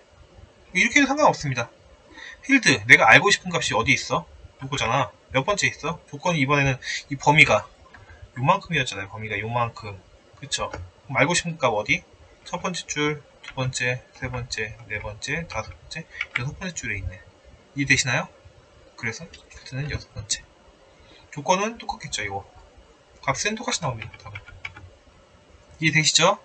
왜 이거를 이 조건과 내가 알고 싶은 값이 어디 있는지 확인을 시켜줬냐면요. 이것만이 아니라 D함수만이 아니라 이따가 V로업이라는 함수 나오는데 그때는 이런 식으로 확인을 해야 돼요. 그래서 아예 원리를 알려드린 겁니다. 자 어떻게 해도 상관없습니다. 편하신 대로 하시고요. 확인 눌러보시면은 답은 나옵니다. 범위 어떻게 잡아도 답 틀리지 않아요. D, 이 Dmax 함수 여기 주어진 함수만 이용했으면은 답은 틀리지 않습니다. 감점 없고요. 자 좋습니다. 그럼 Dmax 함수도 끝났어요. 자 다음 두 번째로 큰 가격 이런 게 제일 좋아 제일 쉬워요. large 함수들이에요. 자두 번째로 큰 가격 더 이상 설명도 없어. 아 이거 색깔 지울게요. 미안 미안 색깔 지우고 자 두 번째로 큰 가격은요. 가격 어딨어 가격 여기 있네. 가격 얘네들 중에 두 번째로 큰 거 말 그대로 그거예요. 그래서 함수 뭐 쓰라고요? large 함수 쓰래요. 써볼게요. 등호 large 이제 이거 쓰는 거 어렵지 않죠? large 함수 K번째로 큰거 구합니다. 나와있네. 더블 클릭 그리고 함수를 눌러보면은요 자 가격 얘네들 중에 그쵸 어레이는 범위예요 범위 쭉 음, 여기 설명 나와 있어요 밑에 데이터 범위입니다라고 얘네들 중에 K는 뭐야 K번째 큰 값, 몇, 몇 번째 큰 값? 문제에서 뭐라 그랬어? 두 번째로 큰 가격이래. 두 번째 2 하면 나왔네요. 끝. 확인 누르면 끝납니다. 짱 쉽죠? 음, 어렵지 않습니다. 자, 마지막이요. 함수의 마지막. 얘도 했고.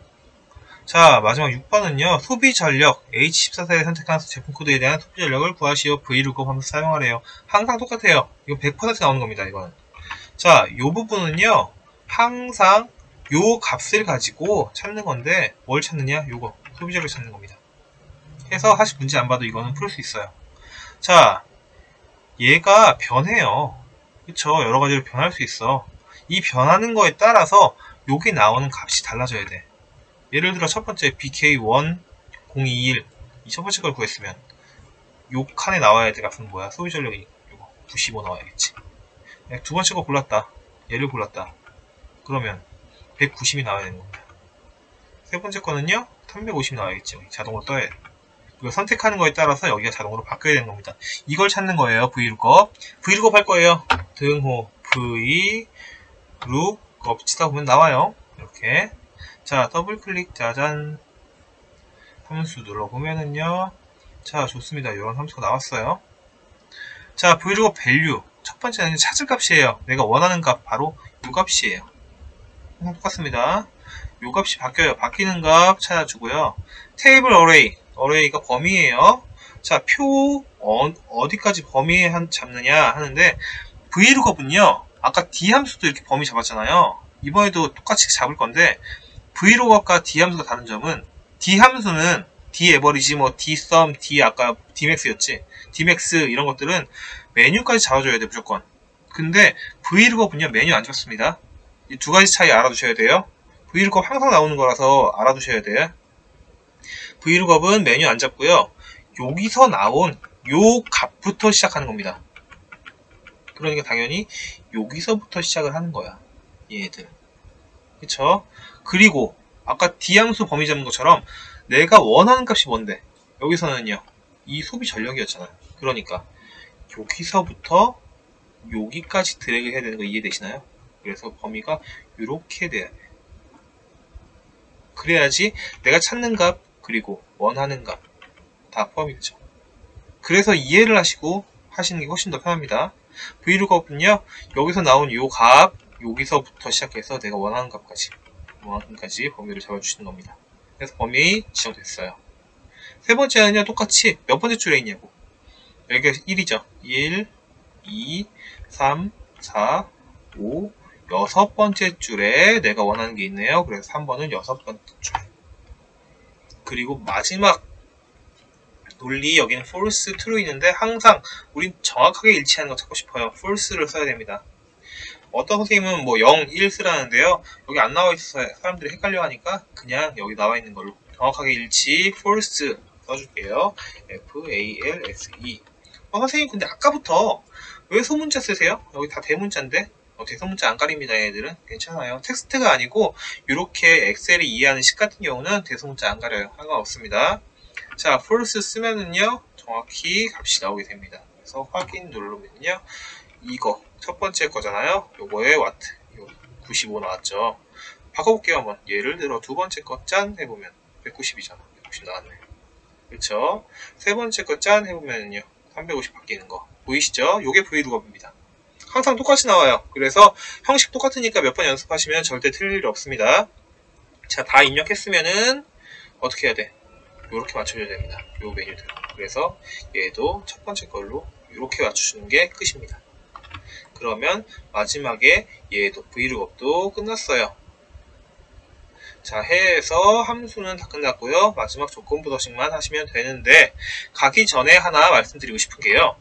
자, 얘네들 우리 아까 여기 첫 번째서 정렬했던 거 기억나시죠? 정렬을 얘네들 지금 안 보여가지고 아까 못했었는데 진짜 보이잖아. 그러니까 원래 정렬을 안 했다 하면은 아마 이게 이런 식으로 되어 있을 겁니다.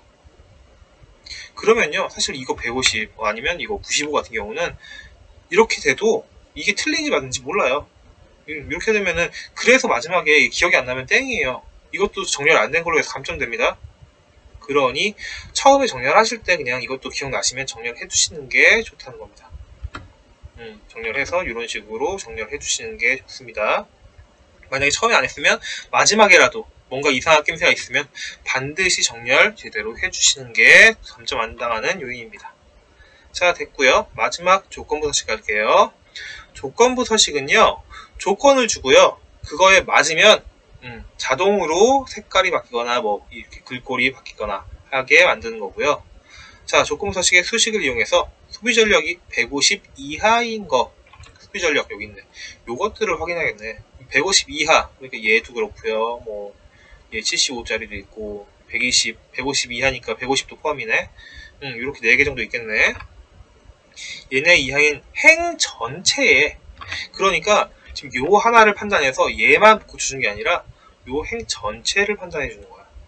요 행 전체를 다 바꿔주는 겁니다. 그리고 얘 한 줄은 다 요게 되겠지.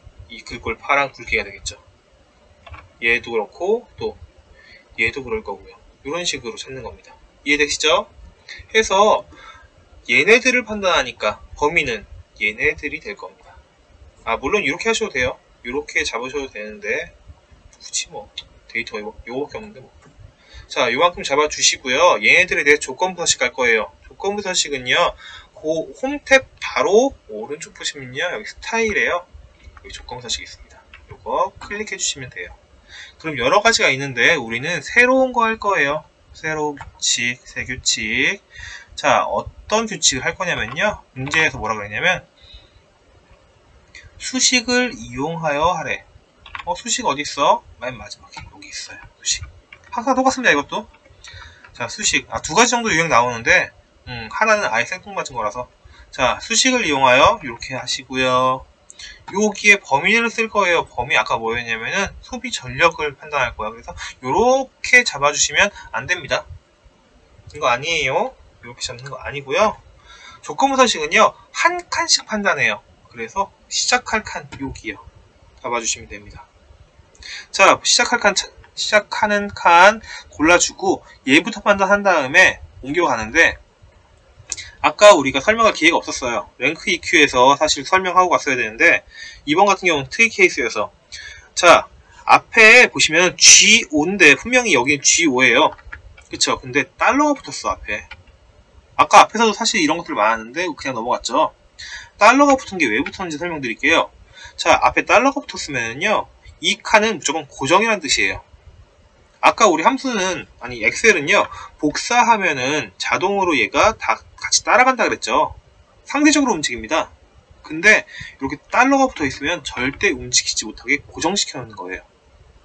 지금 조건부 서식은 얘 칸으로 검사를 한다고 했잖아. 이 칸 검사가 끝나면 다음 칸, 다음 칸, 다음 칸, 또 끝났으면 다시 돌아와서 그 다음 줄에 다음 칸, 다음 칸, 이런 식으로 검사를 하는데, 이렇게 달러가 붙었으면, 요 칸만 검사하고 더 이상 움직이지 못해요. 그래서 이것만 판단할 거야. 그럼 안 되잖아. 우리 검사할 건 뭔데? G5 검사해야 되고요. G6, G7, G8, G9. 그러니까 달은 G는 움직이지 않아. 요 소비 전력만 할 거니까. 그래서 G는 앞에 달러가 붙어도 괜찮아요. G는 움직이지 않을 거니까. 근데 O 앞에 달러 붙었으면 5에서 움직이지 못하잖아. 그럼 돼? 안 돼? 안 되는 거야. 그러니까 5 앞에 달러는 지워줄 겁니다. 이런 식으로. 앞에 달러는 살려주고요. 뒤에 달러는 없애줄 겁니다. 그래야지 이 세로로 요만큼만 검사를 할 거야. 이 8개만. 만약에 이 G 앞에 것도 지우면 어떻게 될까? 요 전체 칸을 다 검사할 겁니다.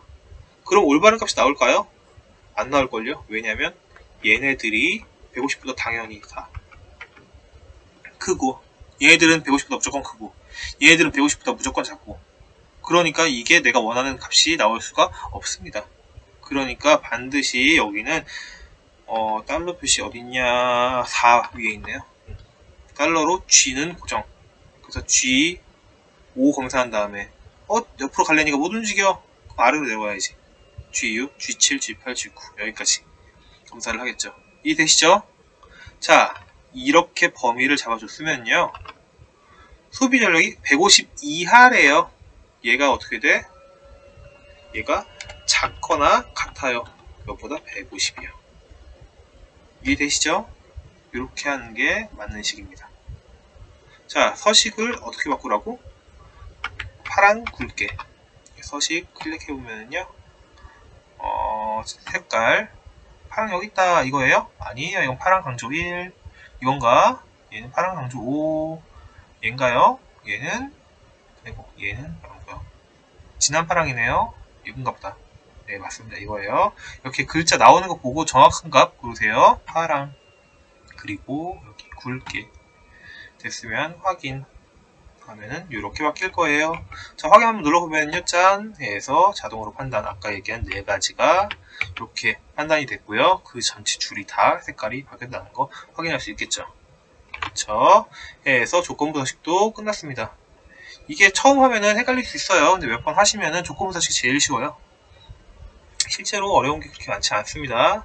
자, 해서 두 번째 이 함수도 끝났어요. 함수 진짜 사람들이 다 어렵다고 하는데 연습을 안 해서 그래요. 몇 번 연습하세요. 음, 저, 저라고 처음부터 함수 잘한 거 아니었으니까 음, 저 같은 사람도 하니까 함수 몇 번 연습해 보시고 해두시면 나중에 뭐 실무하실 때 훨씬 편합니다. 네, 감사합니다. 넘어갈게요.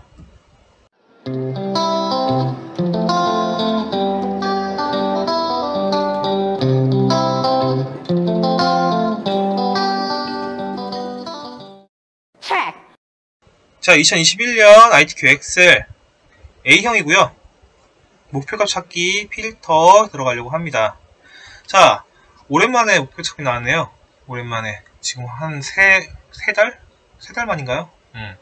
자, 이 작업은요, 항상 두 가지로 나와요. 첫 번째는 목표값 찾기, 그리고 두 번째는 고급 필터. 이렇게 나오는데, 사실 고급 필터는 어디서 나와요? 목표값 찾기에도 고급 필터는 있어요. 음, 여기 있잖아요, 여기. 그쵸? 음, 고급 필터는 항상 공통으로 나오고 하나는 목표값 찾기를 해, 한 다음에 고급 필터를 하느냐 아니면 고급 필터를 하고 표 서식을 바꾸느냐 이런 식으로 나오는데 음, 둘 다 어렵지 않습니다. 하시면 쉬워요. 자 천천히 시작해 봅시다. 자 항상 똑같아요. 1작업 시트에 B4부터 H12를 범위로 합니다. 이 작업은 어떤 작업이 되었든 음, 이 범위를 해요. 복사해서 제2작업 시트에 B2셀부터 모두 붙여넣기 하래요. 자 B4부터 H12 이 요만큼을요 그대로 복사합니다. 컨트롤 C를 누르거나 혹은 복사를 누르시면 돼요. 복사하시고요. 제 2작업 아까 만들어 놨죠? B2셀 여기부터입니다. 여기부터 붙여넣는데 오른쪽 클릭해서 어, 어떤 걸로 붙여넣지? 아까 되게 많았는데 여기서 그냥 모두 붙여넣으세요. 음, 어떻게 붙여넣으란 말 없으면 그냥 첫 번째 거 하시면 돼요. 첫 번째 거 클릭. 어 선생님 이거 샵샵 이거 뭐 어떻게 해요? 이거 뭐예요? 어떡하지 이거? 좁아서 그래요. 음, 좀 넓혀주면 돼요. 잡고 이렇게 쭉 넓혀주면은 바뀝니다. 근데 이거 뭐 하나하나 할 필요가 없어. 왜? 여기에 따로 주어지는 데이터가 없잖아. 그러면 그냥 눈에만 보이면 돼요. 그래서 전체 잡고 그냥 대충 뭐 B, C 사이든 C, D 사이든 더블 클릭 따닥 해주면은 자동으로 다 바뀝니다. 그래서 눈에 보이게 이렇게 깔끔하게만 보이면 됩니다. 자 됐어요. 자 복사해서 제이 작업 시트에 B2부터 모두 붙여넣기 했어요. 다음 작업 시작할게요. 첫 번째 목표값 찾기예요. B11부터 G11까지 세대를 병합하래요. B11 여기부터 G11 요만큼이네요. 병합하는 거 아까 해봤죠? 위에 병합하고 가운데 맞춤 클릭. 자 됐어요. 병합했고요. 전기요의 가격 평균 2라고 입력하래요.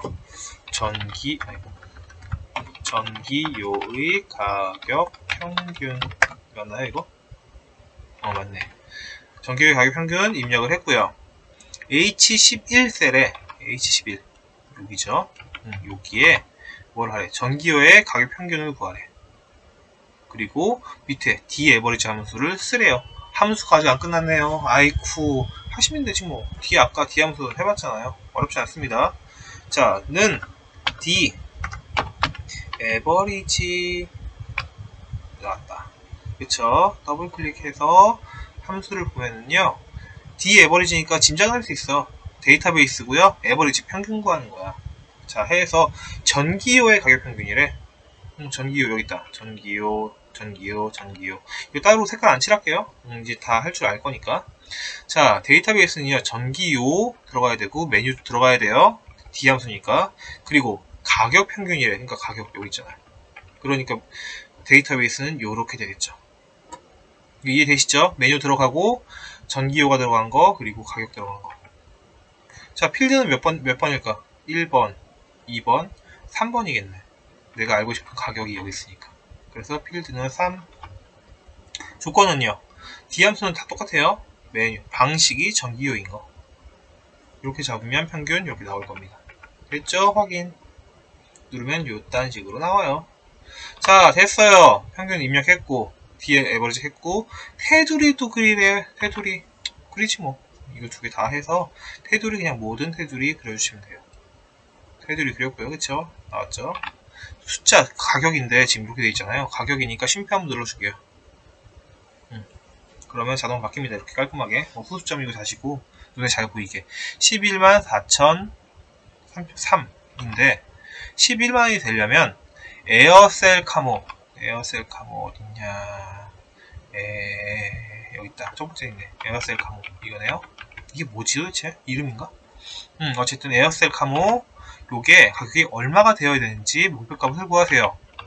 그러니까 지금 전기요 전기요 전기요. 요 세 개. 그러니까 요거하고 요거하고 요거 아이고. 요거하고 요거의 평균이 지금 이거잖아요. 근데 이 가격이 변하면 이것도 변하겠지. 그쵸? 그러니까 이게 얼마가 되면 이게 11만원이 딱 떨어지냐고. 그 얘기하는 거예요. 그래서 이 가격을 변경하고 싶다. 라는 뜻입니다. 이해되시죠?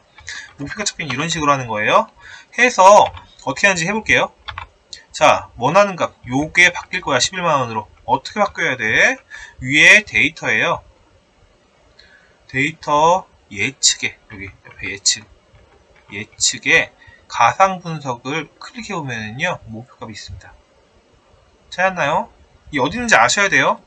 목표 찾기를 클릭해 보면은요 처음에 내가 골랐던 H11이 선택이 돼 있어요. 수식셀은요 첫 번째 내가 바꾸고 싶은 값 골라주시고 찾는 값 몇 해야 돼? 110000 쉼표 써요 안 써요? 안 씁니다. 쉼표는 인간이 알아보기 쉽게 하는 거지 쉼표는 거의 입력할 필요 없어요. 숫자만 쓰면 돼요. 자, 바꿀 셀 값. 뭘 바꿀 거야? 이거요. 에어 셀 카모의 가격. 요걸 바꿀 거예요. 그래서 얘를 클릭해 주면은요, 확인을 눌러 보면은요, 자동으로 이렇게 얘 11만원 바뀌고요. 얘가 가격이 바뀐 거를 확인할 수 있습니다. 어렵지 않죠? 자, 해서 목표가 구한 거예요. 끝난 거야, 이게. 이렇게 두시면 돼요. 그럼 얘까지 끝. 목표가 찾기 생각보다 어렵지 않아요. 음, 어디 있는지만 확인하시면은 시키는 대로만 이렇게 하면 금방 끝나요. 지금 설명하면서 하니까 오래 걸렸지 실제로 제가 하면은 2분, 3분이면 끝납니다, 이거. 음, 여러분도 그래요. 내가 잘나서 그런 게 아니라 실제로 쉬워요. 너무 쉬워. 자, 고급 필터요. 제품 코드가 R로 시작하거나 소비 전력이 200 이상의 자료에 모델명 이것저것을 추출하세요. 고급 필터는요, 조건을 주고요. 그 조건에 맞는 값을 원하는 값만 짠짠짠 걸러내서 보여주는 거예요. 그래서 고급 필터입니다. 자, 일단 조건들이 제품 코드가 R로 시작하거나 소비 전력이 200 이상이라는 조건을 줬어요. 그쵸? 조건을 어디다 해? B24부터 조건 입력하래요. B24 여기 있네. 여기서부터 조건 하는데 조건이 뭐였냐면 제품 코드가 R로 시작하거나 제품 코드 여기 있네. 그래서 이거를 제품 코드 써도 되는데 쓸 필요 없어요. 쓰지 말고요. 그냥 여기 있는 거 복사하세요. 컨트롤 C 눌러서 여기 14에 컨트롤 V 하세요. 어, 선생님 이거 그럼 서식이 달라지잖아요. 서식이 이렇게 들어가도 괜찮아요. 고급 필터는 서식보다 이 글자 내용만 봅니다. 그러니까 제품 코드 그대로 입력하시고 제품 코드 어쨌는데 어떻게 하라고? R로 시작하거나 음, R로 시작하는 거 어떻게 쓰, 냐면요 얘는 텍스트예요. 그러니까 대소문자 써야 돼요. R로 시작하거나 R 어쩌고저쩌고 나와야 돼. 그러니까 뒤에 어쩌고저쩌고 나오는 거 별로 입력하시면 돼요. 그래서 R 별 하면은요 R로 시작하고 뒤에는 어떤 게 나도 상관없습니다. 라는 뜻이에요. 요게 조건입니다. 자, 됐고요. 소비 전력이 200 이상인 자료. 소비 전력 어디 있어? 여기 있다. 이거 복사해서 옆에다 붙여놓을게요. 음, 이게 똑같아야 돼. 이거랑 똑같아야 돼서 타이핑하면은 이거 두 줄 또 잘못 쓰고 하면은 음, 아예 못 찾습니다. 그러니 까 복사해 쓰세요. 자, 소비 전력이 어떻게 하라고? 200 이상. 아까 이상 이상이라 해봤죠. 이상이니까 크거나 같아요. 몇? 200이요. 이렇게 하면 되겠네. 됐나요? 아닙니다. 이렇게 하면 틀립니다. 왜냐면요. 자, 고급 필터는요, 항상 조건이 두 가지로 나옵니다. 하나는 뭐뭐 이거나, 뭐 뭐뭐 하거나, 이렇게 나오고요. 하나는 뭐뭐 이면서로 나옵니다. 뭐뭐 이거나 라는 거는요, 영어로 or. 그러니까 이거여도 되고 저거여도 돼. 둘 중에 하나만 만족해도 참입니다. true예요. 근데 뭐뭐이면서 뭐뭐 라고 하면은 둘 다 만족해야 되는 거예요. 그래서 여기, 여기거든요. 이게 진짜 실제 함수도 있어요. 그래서 A 이거나 B라고 하면 or 그래서 둘 중에 하나만 만족해도 참이고요. 뭐뭐 이면서 뭐뭐 A이면서 B라면 A and B니까 둘 다 만족해야 되는 거예요. 둘 다 만족해야 참. 둘 중에 하나만 틀려도 그건 false 틀린 거, 틀리는 겁니다. 그러니까 지금 여기서 문제에서는요. 뭐뭐 하거나 라고 했으니까 or 둘 중에 하나만 만족해도 돼. 함수는요. 항상 가로로 해요. 이렇게 두 개가 같이 있으면 둘 다 만족해야 된다는 뜻이에요. 그러니까 얘는 같은 줄이 아니라 다른 줄에 있어야 돼요. 이렇게. 음, 이렇게 해야지 이거 만족해도 오케이. 이거 만족해도 오케이. 라고 이해를 해요. 못 외우게 했으면은 둘 중에 하나만 외우세요. 그냥 뭐뭐 하거나 라고 하면 다른 줄. 뭐뭐 이면서 하면 같은 줄. 둘 중에 하나만 외우셔서 반대로 생각하시면 됩니다. 음, 두, 두 가지 유형이에요. 자, 됐어요. 해서 이상인 자료에 뭐 찾고 싶어? 모델명, 방식, 제조사, 가격, 데이터만 추출하래요. 요것만 필요해. 복사 위치는 B18부터 B18에 모델명 모델명 어디 있어요? 모델명 있다. 모델명을 B18 여기다가 붙여놓고요. 또 뭐 있어? 방식 제조사 방식 제조사 그리고 또 가격 이렇게 네 가지인가 봐요. 내용 방식 제조사 가격 데이터만 추출하래요. 어, 그래서 이 네 개만 쓴 겁니다. 이렇게까지 했으면 밑 작업은 끝난 거예요. 자, 필터할 내용들은요, 바로 여기 있어요. 이 데이터들 요만큼. 요것도요? 아니요, 요거 필요 없고요. 요만큼만. 요만큼만 한번 판단을 해볼게요. 어떻게 위에 보면요 정렬리 필터에 고급 있습니다. 고급 클릭 하면은 제가 지금 방금 잡은 요 범위가 자동으로 목록 범위에 잡혀요. 자, 자, 조건은요. 조건 여기 있었지. 요만큼이었죠. 그쵸. 조건은 요만큼이었어. 됐죠? 복사 위치는 요 아래 요건데 아이고 클릭이 안 돼. 왜? 위에 다른 장소의 복사를 클릭을 해주셔야 됩니다. 다른 장소. 자, 깜빡깜빡 커서 자, 다른 장소 어디냐면요. 요 네 개요. 밑에는 클릭 안 해도 돼요. 괜찮아. 요렇게만 잡아주면은 알아서 밑에 잡힐 겁니다. 밑에 쭈룩 나올 거예요. 됐죠? 확인, 클릭. 그러면 요 내용에 대해 밑에 이렇게 자동으로 골라서 나올 거예요. 어, 이렇게 칸이 안 이뻐요. 다시. 다 됐으면 전체 잡고 더블 클릭해서 전체 맞춰주면은 음, 예쁘게 완성이 됩니다. 그래서 이런 식으로 나오면은 만점인 거예요. 음, 어렵지 않죠? 위에 목표가 찾는 거 데이터에서 목표가 찾기 해서 하는 거 그리고 고급 필터 이 조건만 잘 잡으면은 크게 어렵지 않습니다. 됐나요? 이렇게 해서 이 작업도 끝. 이 작업 80점 너무 쉬우니까 다 맞췄으면 좋겠어요.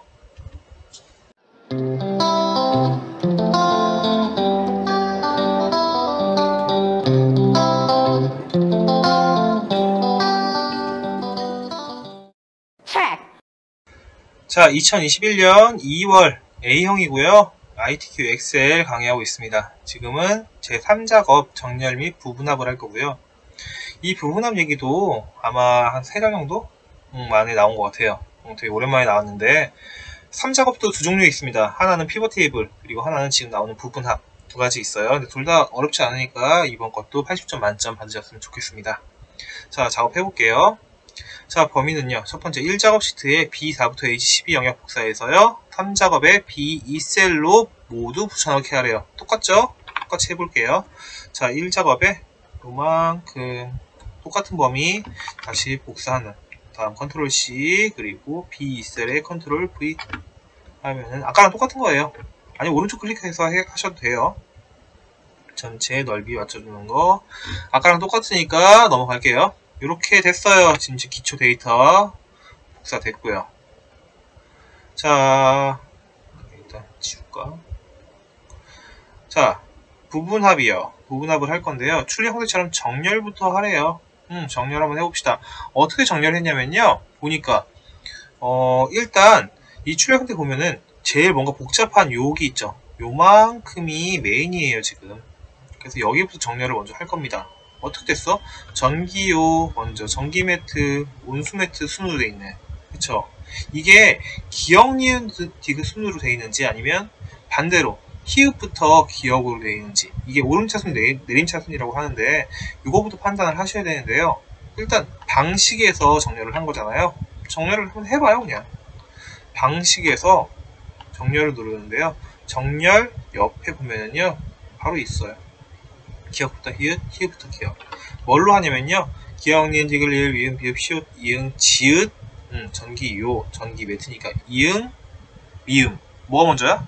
이응이 먼저 나와야 돼 원래 근데 이응이 나왔잖아 거꾸로 되어 있다는 거 알 수 있죠 음, 그러니까 히읗부터 기읍 내림차순으로 되어 있는 거구나 잘 모르겠으면 그냥 외우세요 내림차순 요거 기억부터 히읗이 아니라 히읗부터 기억 어디서? 방식의 이 셀에 선택을 한 다음에 얘를 눌러주면은 자동으로 이렇게 깔끔하게 정리가 됩니다. 이 순서대로 그쵸? 모르겠으면 둘 다 눌러보세요. 눌러봤더니 어? 온수 매트 나왔는데 온수 매트 마지막에 있네. 아니구나. 바꿔야 되는구나. 이렇게. 아래 걸로. 하면은 전기요 보국전자 전기요 보국전자 전기요 보이로 전기요 보이로. 순서 다 맞춰 있는 거 확인되죠? 이렇게 하는 게 정렬이에요. 여기 정렬. 됐고요 모델명의 개수 가격의 최대값을 구하세요. 써 있어요. 전기요 최대값 전기요 개수. 근데 주의할 거는요 요 순서대로 해야 돼요. 모델명의 개수 먼저. 그리고 그 다음에 가격의 최대값. 오케이? 순서대로 하셔야 됩니다. 그림 보고 최대값이 먼저구나 라고 생각하시면 안 돼요. 이거 뽀뽀로 나오는 겁니다. 그래서 요거부터 모델명의 개수 먼저 해줄 건데요. 부분 합이라는 게 어디 있냐면요. 데이터의 오른쪽 끝에 보면 개요에 부분합이 있습니다 그쵸 부분합 클릭 눌러보면은요 자동으로 범위 잡혀 있고요 전체 그쵸 그룹화할 항목은요 첫 번째 거는 이 가장 복잡한 바로 여기입니다 방식을 그룹화할 거예요. 방식을 그룹화할 건데요. 사용할 함수는 뭐였지? 뭐 하라 그랬지? 모델명의 개수 먼저 구하래요. 그래서 보면 개수를 구할 거야. 어떤 거? 모델명이야. 모델명 체크. 얘는 체크 풀어줘야겠지? 됐나요? 그래서 확인을 한번 눌러보면요. 이렇게 전기요 개수가 자동으로 뜨게 됩니다. 전기요 개수. 그쵸? 됐나요? 자, 그리고 나서 한 번 더 해야지. 가격의 최대값 구해야 되잖아. 그쵸? 한 번 더 해볼게요. 한 번 더 똑같이 부분합 클릭. 자, 방식은요. 아니, 아니. 그룹할 항목은요. 방식 그대로, 방식 밑에 있잖아. 그쵸? 그러니까 방식 그대로 두고요. 사용할 함수는 최대값이요. 가격의 최대값. 최대값, 최대 여기 있다. 최대 어느 거 가격이요. 이거 아니고요. 됐죠? 그리고 두 번째 거 할 때는 반드시 요 새로운 값으로 대치를 풀어줘야 됩니다. 이거 체크해놓고 그냥 하면요 바뀌어요. 이거 없어지고 거기다 생기는데 그게 아니고 요거를 체크를 풀어주시면 하나 더 추가를 하는 거예요. 확인 짠 해보면은 이렇게 전기요 최대값, 전기요 개수, 전기요 최대값, 전기요 개수. 어 이거 너무 작아요. 어떻게 전체 잡고 더블 클릭 따닥 해주시면은 음, 넓어집니다. 원래는 이게 최대로 나오는 게 아니라 최대값으로 나와요. 자동으로. 음. 근데 버전이 달라가지고 지금 최대로 나왔는데 이거 그냥 고쳐주셔도 돼요. 음, 최대 가, 아니고 음, 값으로 고쳐주시면 돼요. 이게 버전이 똑같으면 그냥 최대값 자동 뜰 겁니다. 그러니까 걱정하지 마시고 여러분들 하실 때는요. 시험장에 가서 하실 때는 그냥 그 자동으로 뜰 거니까 걱정하지 마시고 만약에 다르게 떠서 당황스러우면요 고쳐주세요 지금. 저 하는 것처럼. 음, 똑같이 이거 보시고 고쳐주시면 돼요. 그럼 감점 아닙니다. 자 됐어요. 이렇게 했고요. 음 그럼 1번이 끝난 거죠. 부분합이 다 완성이 되고있죠? 시킨 대로 했으니까 자 2번 윤곽 지우래요. 윤곽이 뭐야? 윤곽 뭐냐면 바로 여기에요 이 부분입니다. 그래서 얘를 지우고 싶은데 어디 있냐면요. 부분합 했던 여기 부분합 있죠? 그렇지. 그 옆에 그룹 해제 보면은요. 음, 개요 지우기 있습니다. 개요 지우기 짠! 눌러보면은 지워져요. 이게 버전마다 다른데 원래 개요 지우기가 아니라 윤곽이라고 나와요. 그냥 윤곽 지우기로 나옵니다 이게. 음, 개요가 아니라 윤곽 지우기 뭐 이런 식으로 나오는데 그거 눌러주시면 돼요. 지워집니다. 윤곽 지웠고요. 지워 지워 지워 그래서 얘도 끝났고요 자 나머지 사항 출력 형태 맞게 작성하세요 나머지 사항 비교해 봅시다 뭐가 틀린지 자, 짠짠 제품 코드 맞고요. 모델명도 제대로 돼 있고 숫자도 잘 나와 있고요. 8 숫자 다 맞았고 음, 딱히 다른 게 없는 것 같죠. 음, 출력 형태에 맞게 작성할 거는요. 너비밖에 없어요. 아까 이렇게 좀 좁혀 있었잖아. 그쵸 그래서 전체 잡고 더블 클릭했잖아요. 이렇게 하는 게 지금 여기서 시키는 출력 형태에 맞게 하는 겁니다. 그리고 이렇게 아까 저처럼 최대 돼 있으면 최대 값을 바꿔주는 거. 그런 것들 해주시면은 나머지는 정렬도 다 맞고요. 음, 다 원하는 대로 시키는 대로 돼서 벌써 3작업은 끝났어요. 너무 쉽죠? 음, 절대 틀릴 일 없이 80점 만점 맞으셨으면 좋겠습니다.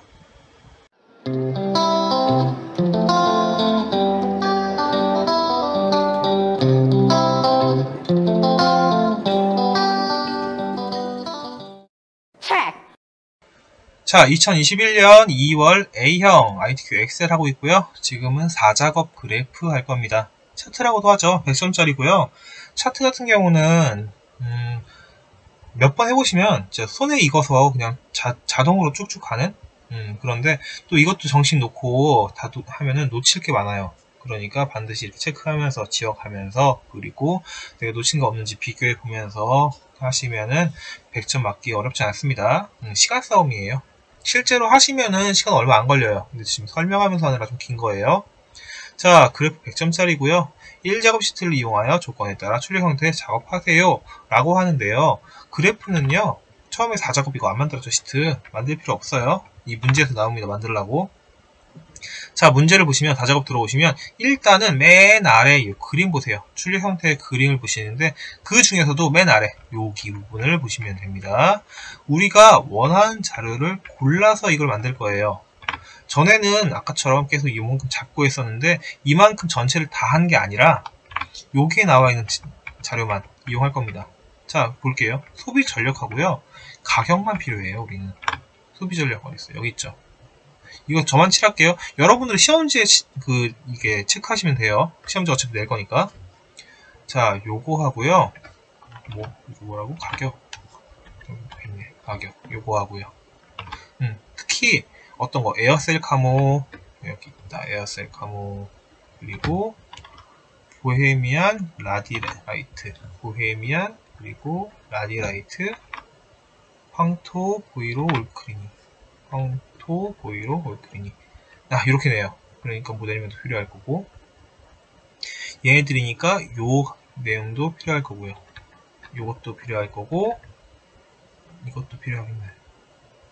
이렇게 네요. 자 지금 색깔 칠한 노란 색깔 칠한 요 부분만 필요한 자료겠네요.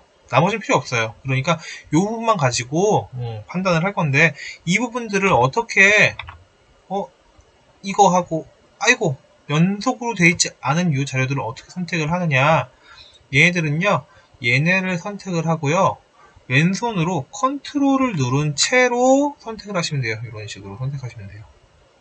음, 선택하다가 어 잘못 선택했어요. 어떻게 다시 하시면 돼요. 손 띄고 다시 첫 번째 선택한 다음 컨트롤 눌러서 선택을 하시면 돼요. 이런 식으로. 이해되시죠?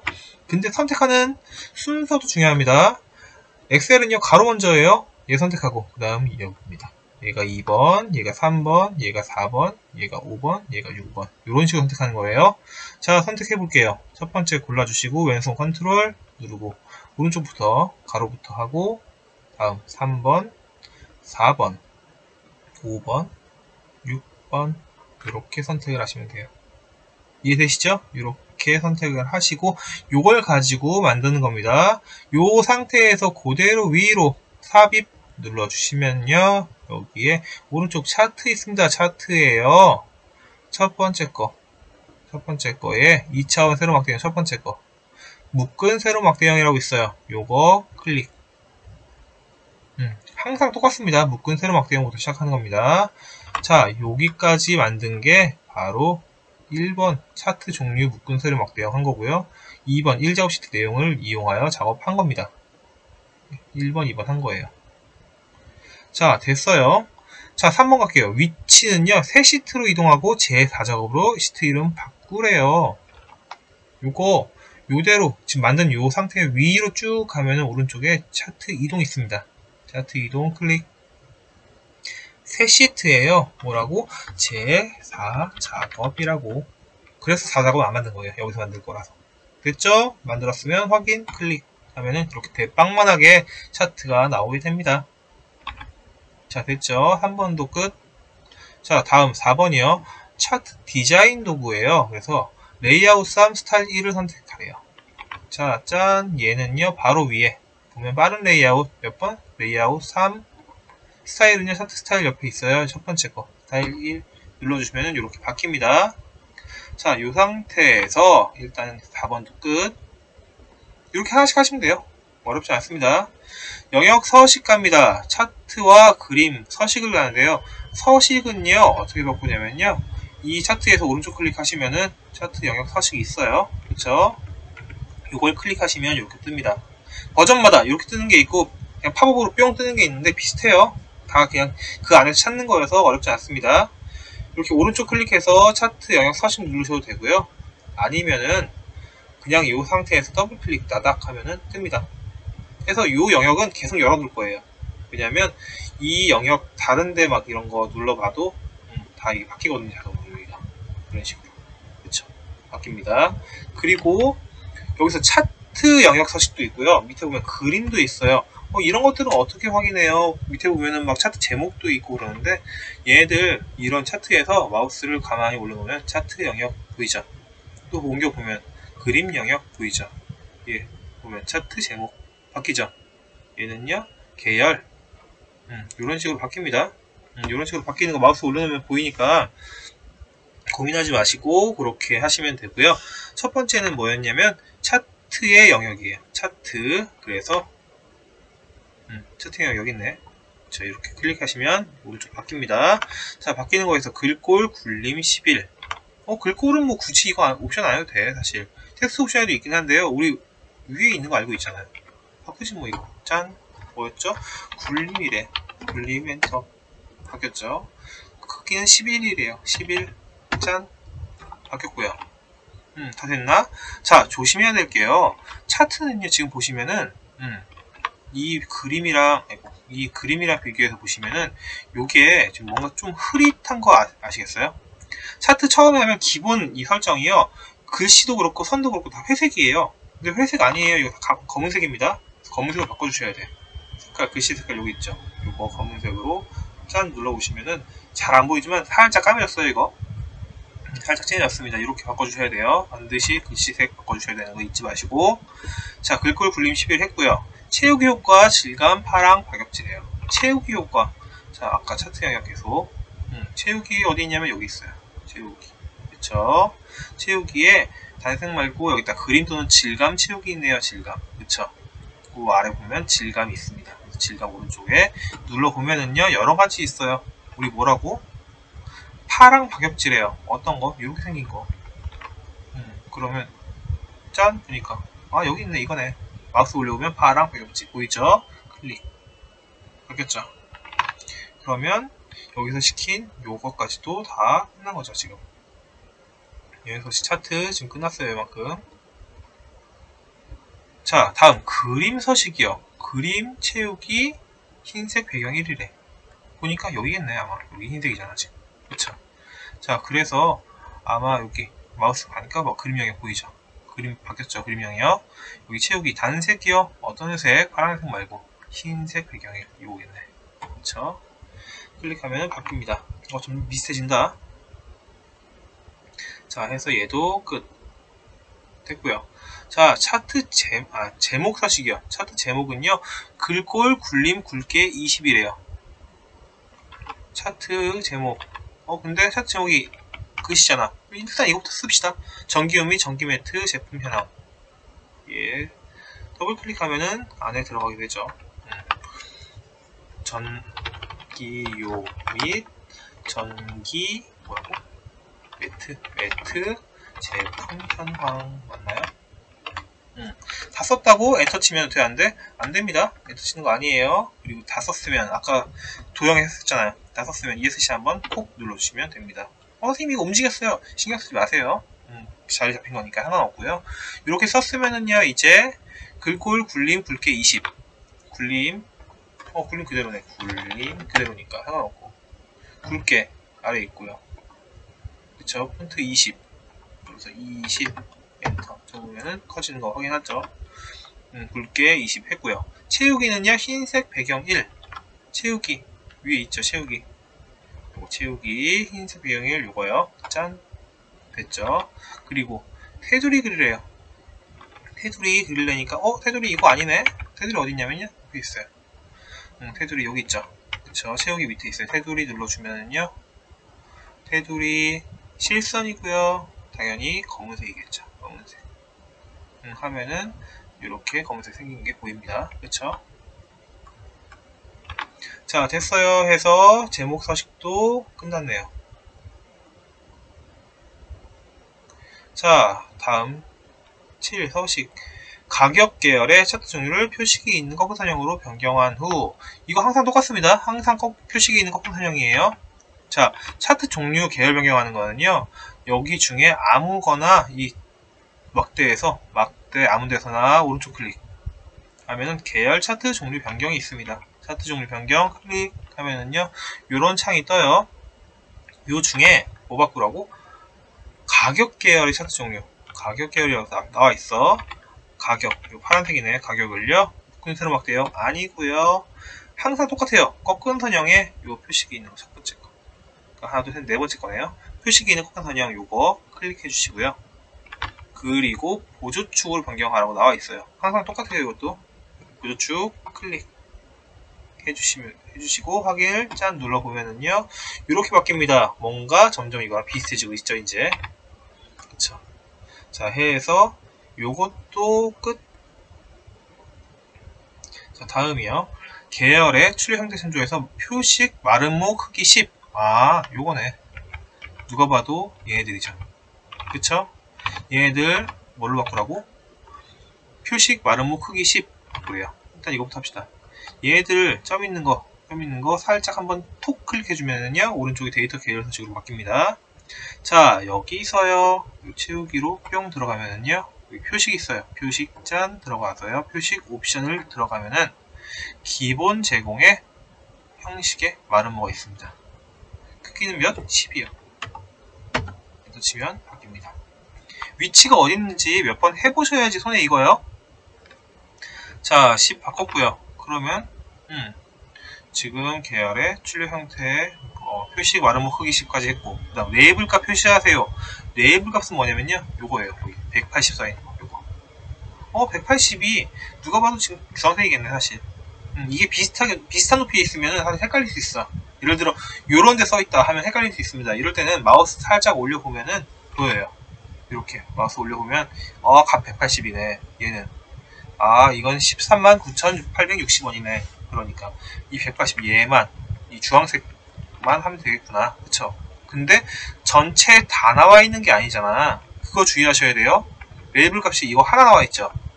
보통 이렇게 선택을 뿅 하면은 다 잡힌단 말이에요. 음, 이렇게 하면 안 되고요. 한 번 더 클릭을 착 해주면 얘만 선택이 됩니다. 그쵸? 다른 거 다 풀렸잖아. 그 상태에서 오른쪽 클릭 그리고 데이터 레이블 추가 클릭 하면요 이렇게 숫자가 나옵니다. 나왔죠? 이렇게 음, 어렵지 않죠? 자 됐습니다. 레이블 값도 했어요. 얘도 끝. 자 다음 눈금선이요. 눈금선은 선 스타일 파선으로 가래요. 눈금선 뭐냐면요. 요 가로 점점점점 나와있는 얘들이에요. 얘네 여기 마찬가지 얘들 살짝 콕 찍으면요 이렇게 선 선선 잡힙니다.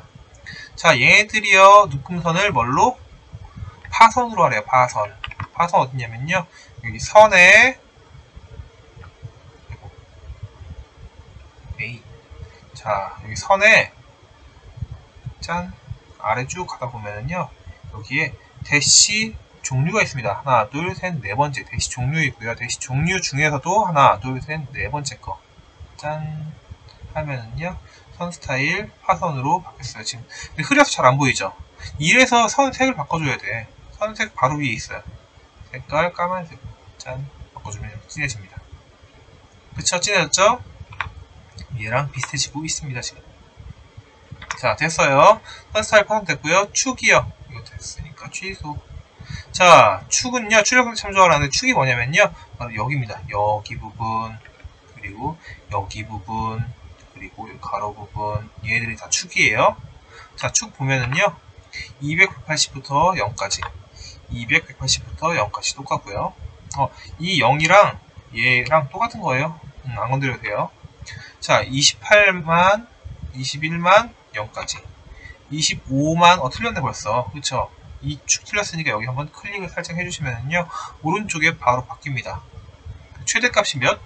28만이잖아 얘 25만이 아니라 28만으로 바꿔주세요 그리고 엔터 짠 치면은 28만으로 바뀝니다 그리고 28만 21만부터 0 28만 23만부터 마이너스 2만 이건 뭐야 이 범위가 달라서 그래요 이 간격이 달라서 그래요 보니까 28만에서 21만 몇 차이? 7만 차이죠 그쵸. 7만 차이. 기본에 5만 되어 있는 거를 7만으로 바꿔주세요. 짠. 바꾸면요. 자동으로 28만, 21만, 24만에서 21만, 22만, 14만, 0원까지. 0원까지. 그대로 됐죠. 어렵지 않죠? 자, 이 상태에 이대로 하고 밑에는 감호 뭐 똑같이 되어 있는 거 확인 다 했고요. 그럼 다 끝났나요? 끝났나요? 이거랑 똑같나요? 아닙니다. 뭐가 달라? 여기 선이 있잖아. 여기도 선이 있잖아. 밑에도 선 있잖아. 근데 여기는 선이 없네요. 그쵸? 선 그려줘야 합니다. 그래서 주축부터 여기 선 그릴 거예요. 선 어딨어? 여기 채우기에 선 있습니다. 음, 선 여기 있죠. 선에 실선 어떤 색? 까만색이요. 까만색 클릭 하면은 이렇게 선 생겼어요. 그쵸?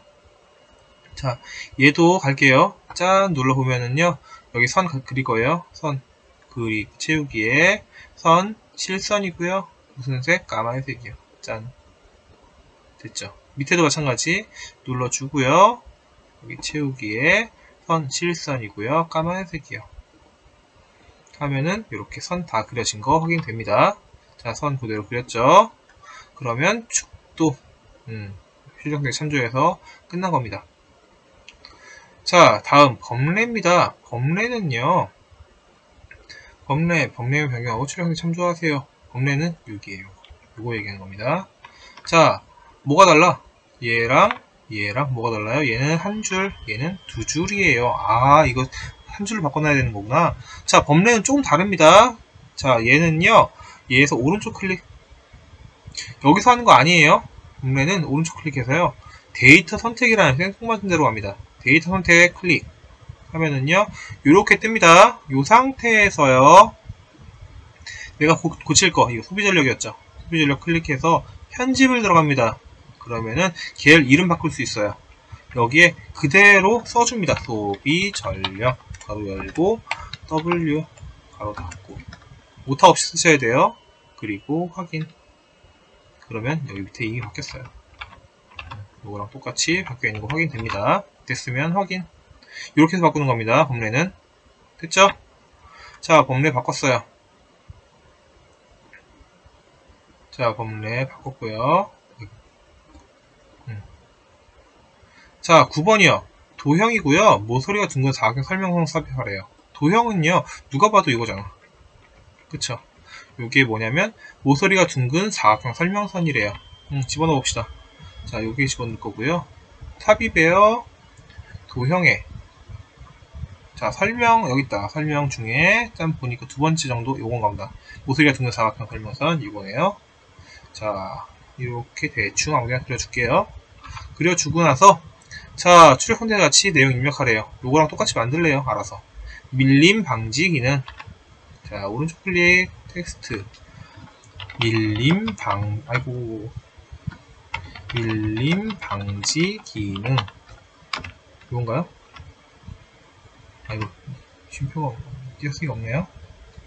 밀림 방지 기능 해서 다 썼으면 엔터 쳐 안 쳐? 안 칩니다. 다 썼으면 ESC 한번 콕 눌러주시고요. 자, 이제 요거랑 똑같이 한번 만들어 볼게요. 일단 어, 뭐가 달라? 다 바꿀 거예요. 자, 일단 가로 가운데, 세로 가운데. 예. 홈 탭에 보면은요, 정렬 있죠? 가로 가운데, 세로 가운데. 만들어줬고요. 글씨색 까만색이죠? 글씨색 까만색이에요. 까만색. 자, 바꾸다 보니까, 오, 맑은 고딕이야, 얘. 이거 맞아? 아닙니다. 여기 이 차트의 모든 데이터는요 여기 나와 있는 대로 차트는 글꼴 굴림 11이에요. 그래서 얘도 바꿔줄게요. 굴림이요. 굴림. 그리고 11포인트 그대로네. 음, 바꿔줬어요. 자 글씨색 까만색 바꿨고. 배경은요. 하얀색이네. 이거 투명이야 하양이야? 이거 하양입니다. 왜? 뒤에 점선이 안 보이잖아. 투명이면 점선이 보이겠지. 음, 하양색입니다. 그래서 색깔. 채우기. 하양색 흰색 배경이 짠 이렇게 바꿔준 거예요. 자, 요 그림대로 한번 만들어 볼게요. 사실 이게 이 바가 주황색이 너무 얇아가지고 주황색 보고 맞추기는 힘들어. 그래서 이 까만 이 파란색 점 보고 한번 맞춰볼게요. 범하고 제목 보고 맞춰볼게요. 자, 현 옆에 그리고 가운데쯤.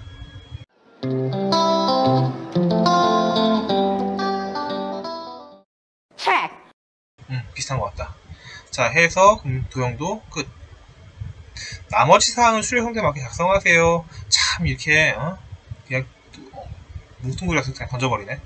자 보면은요 이제 하나씩 체크해주면 돼요. 체크 체크 체크 체크 다 해서 비슷한 게 없, 뭐, 틀린 게 없는지 쭉 확인하시면 되는데 눈에 띄는 틀린 거 아까 얘기한 거 주황색 이거 두께가 너무 다르잖아요. 그쵸? 두께 한번 바꿔볼게요. 클릭 한번 해보시면요 오른쪽에 계열 겹치기 간격 너비 있습니다. 겹치기는요 0 간격 너비는 75 정도로 맞춰주시면 돼요. 하면은 비슷하게 맞춰집니다. 만약에 이거 했는데 이거 크기 어떻게 보냐면 이런 식으로 뭐 보헤미안 무지개 큰 게 있죠. 그러면 보면은 요 사이 어, 좌하고 개 사이, 우하고 해 사이 대충 맞는지 이렇게 판단을 해보시면은 아 비슷하네. 만약 아니면 바꿔주시면 돼요. 80, 뭐 70 이렇게 바꿔보면서 해보시면은 나옵니다. 그래서 크기 대충 맞춰주시면은 틀린 게 아마 없을 거예요. 그러면 나머지 사항도 출력 형태 맞게 끝. 그래서 완전 끝인가 하고 쭉 내려봤더니 마지막에 뭐래. 시트면 순서가 차례대로 1, 2, 3, 4 작업돼야 된대요. 근데 지금 보면 4 작업이 맨 앞이죠. 놓치시면 안 돼요. 얘 잡고 클릭해서 드래그 끝으로, 끄트머리로 짠 하면은 1, 2, 3, 4 작업 되죠. 순서까지 요까지 다 맞춰주셔야 됩니다. 그래서 얘도 됐나요? 음, 이렇게 하면은 대충 음, 여러분들이 작성하신 이렇게 다작업도 다 마무리가 될 것 같아요. 뭐 다작업도 크게 어렵지 않습니다. 여러분들이 집중해서 하나씩 이렇게 지어가면서 체크하시면 돼요. 그래서 마지막에 이 그림과 이 그림이 맞는지 틀린 게 없는지 확인하시면 되고 여기 나와 있지 않은 것들 특히 요 선하고 글씨색 까만색으로 바꿔줘야 되는 거. 어? 이거 뭐야 도형 색깔 안 바꿔도 돼요? 얘도 파란색이잖아. 도형색은 안 바꿔도 돼요. 파란색입니다. 자 됐죠? 다작업도 끝났습니다. 모두 열심히 해서 ITQ 엑셀 A등급 맞으시길 바랄게요. 오늘도 들어주셔서 수고하셨습니다. check.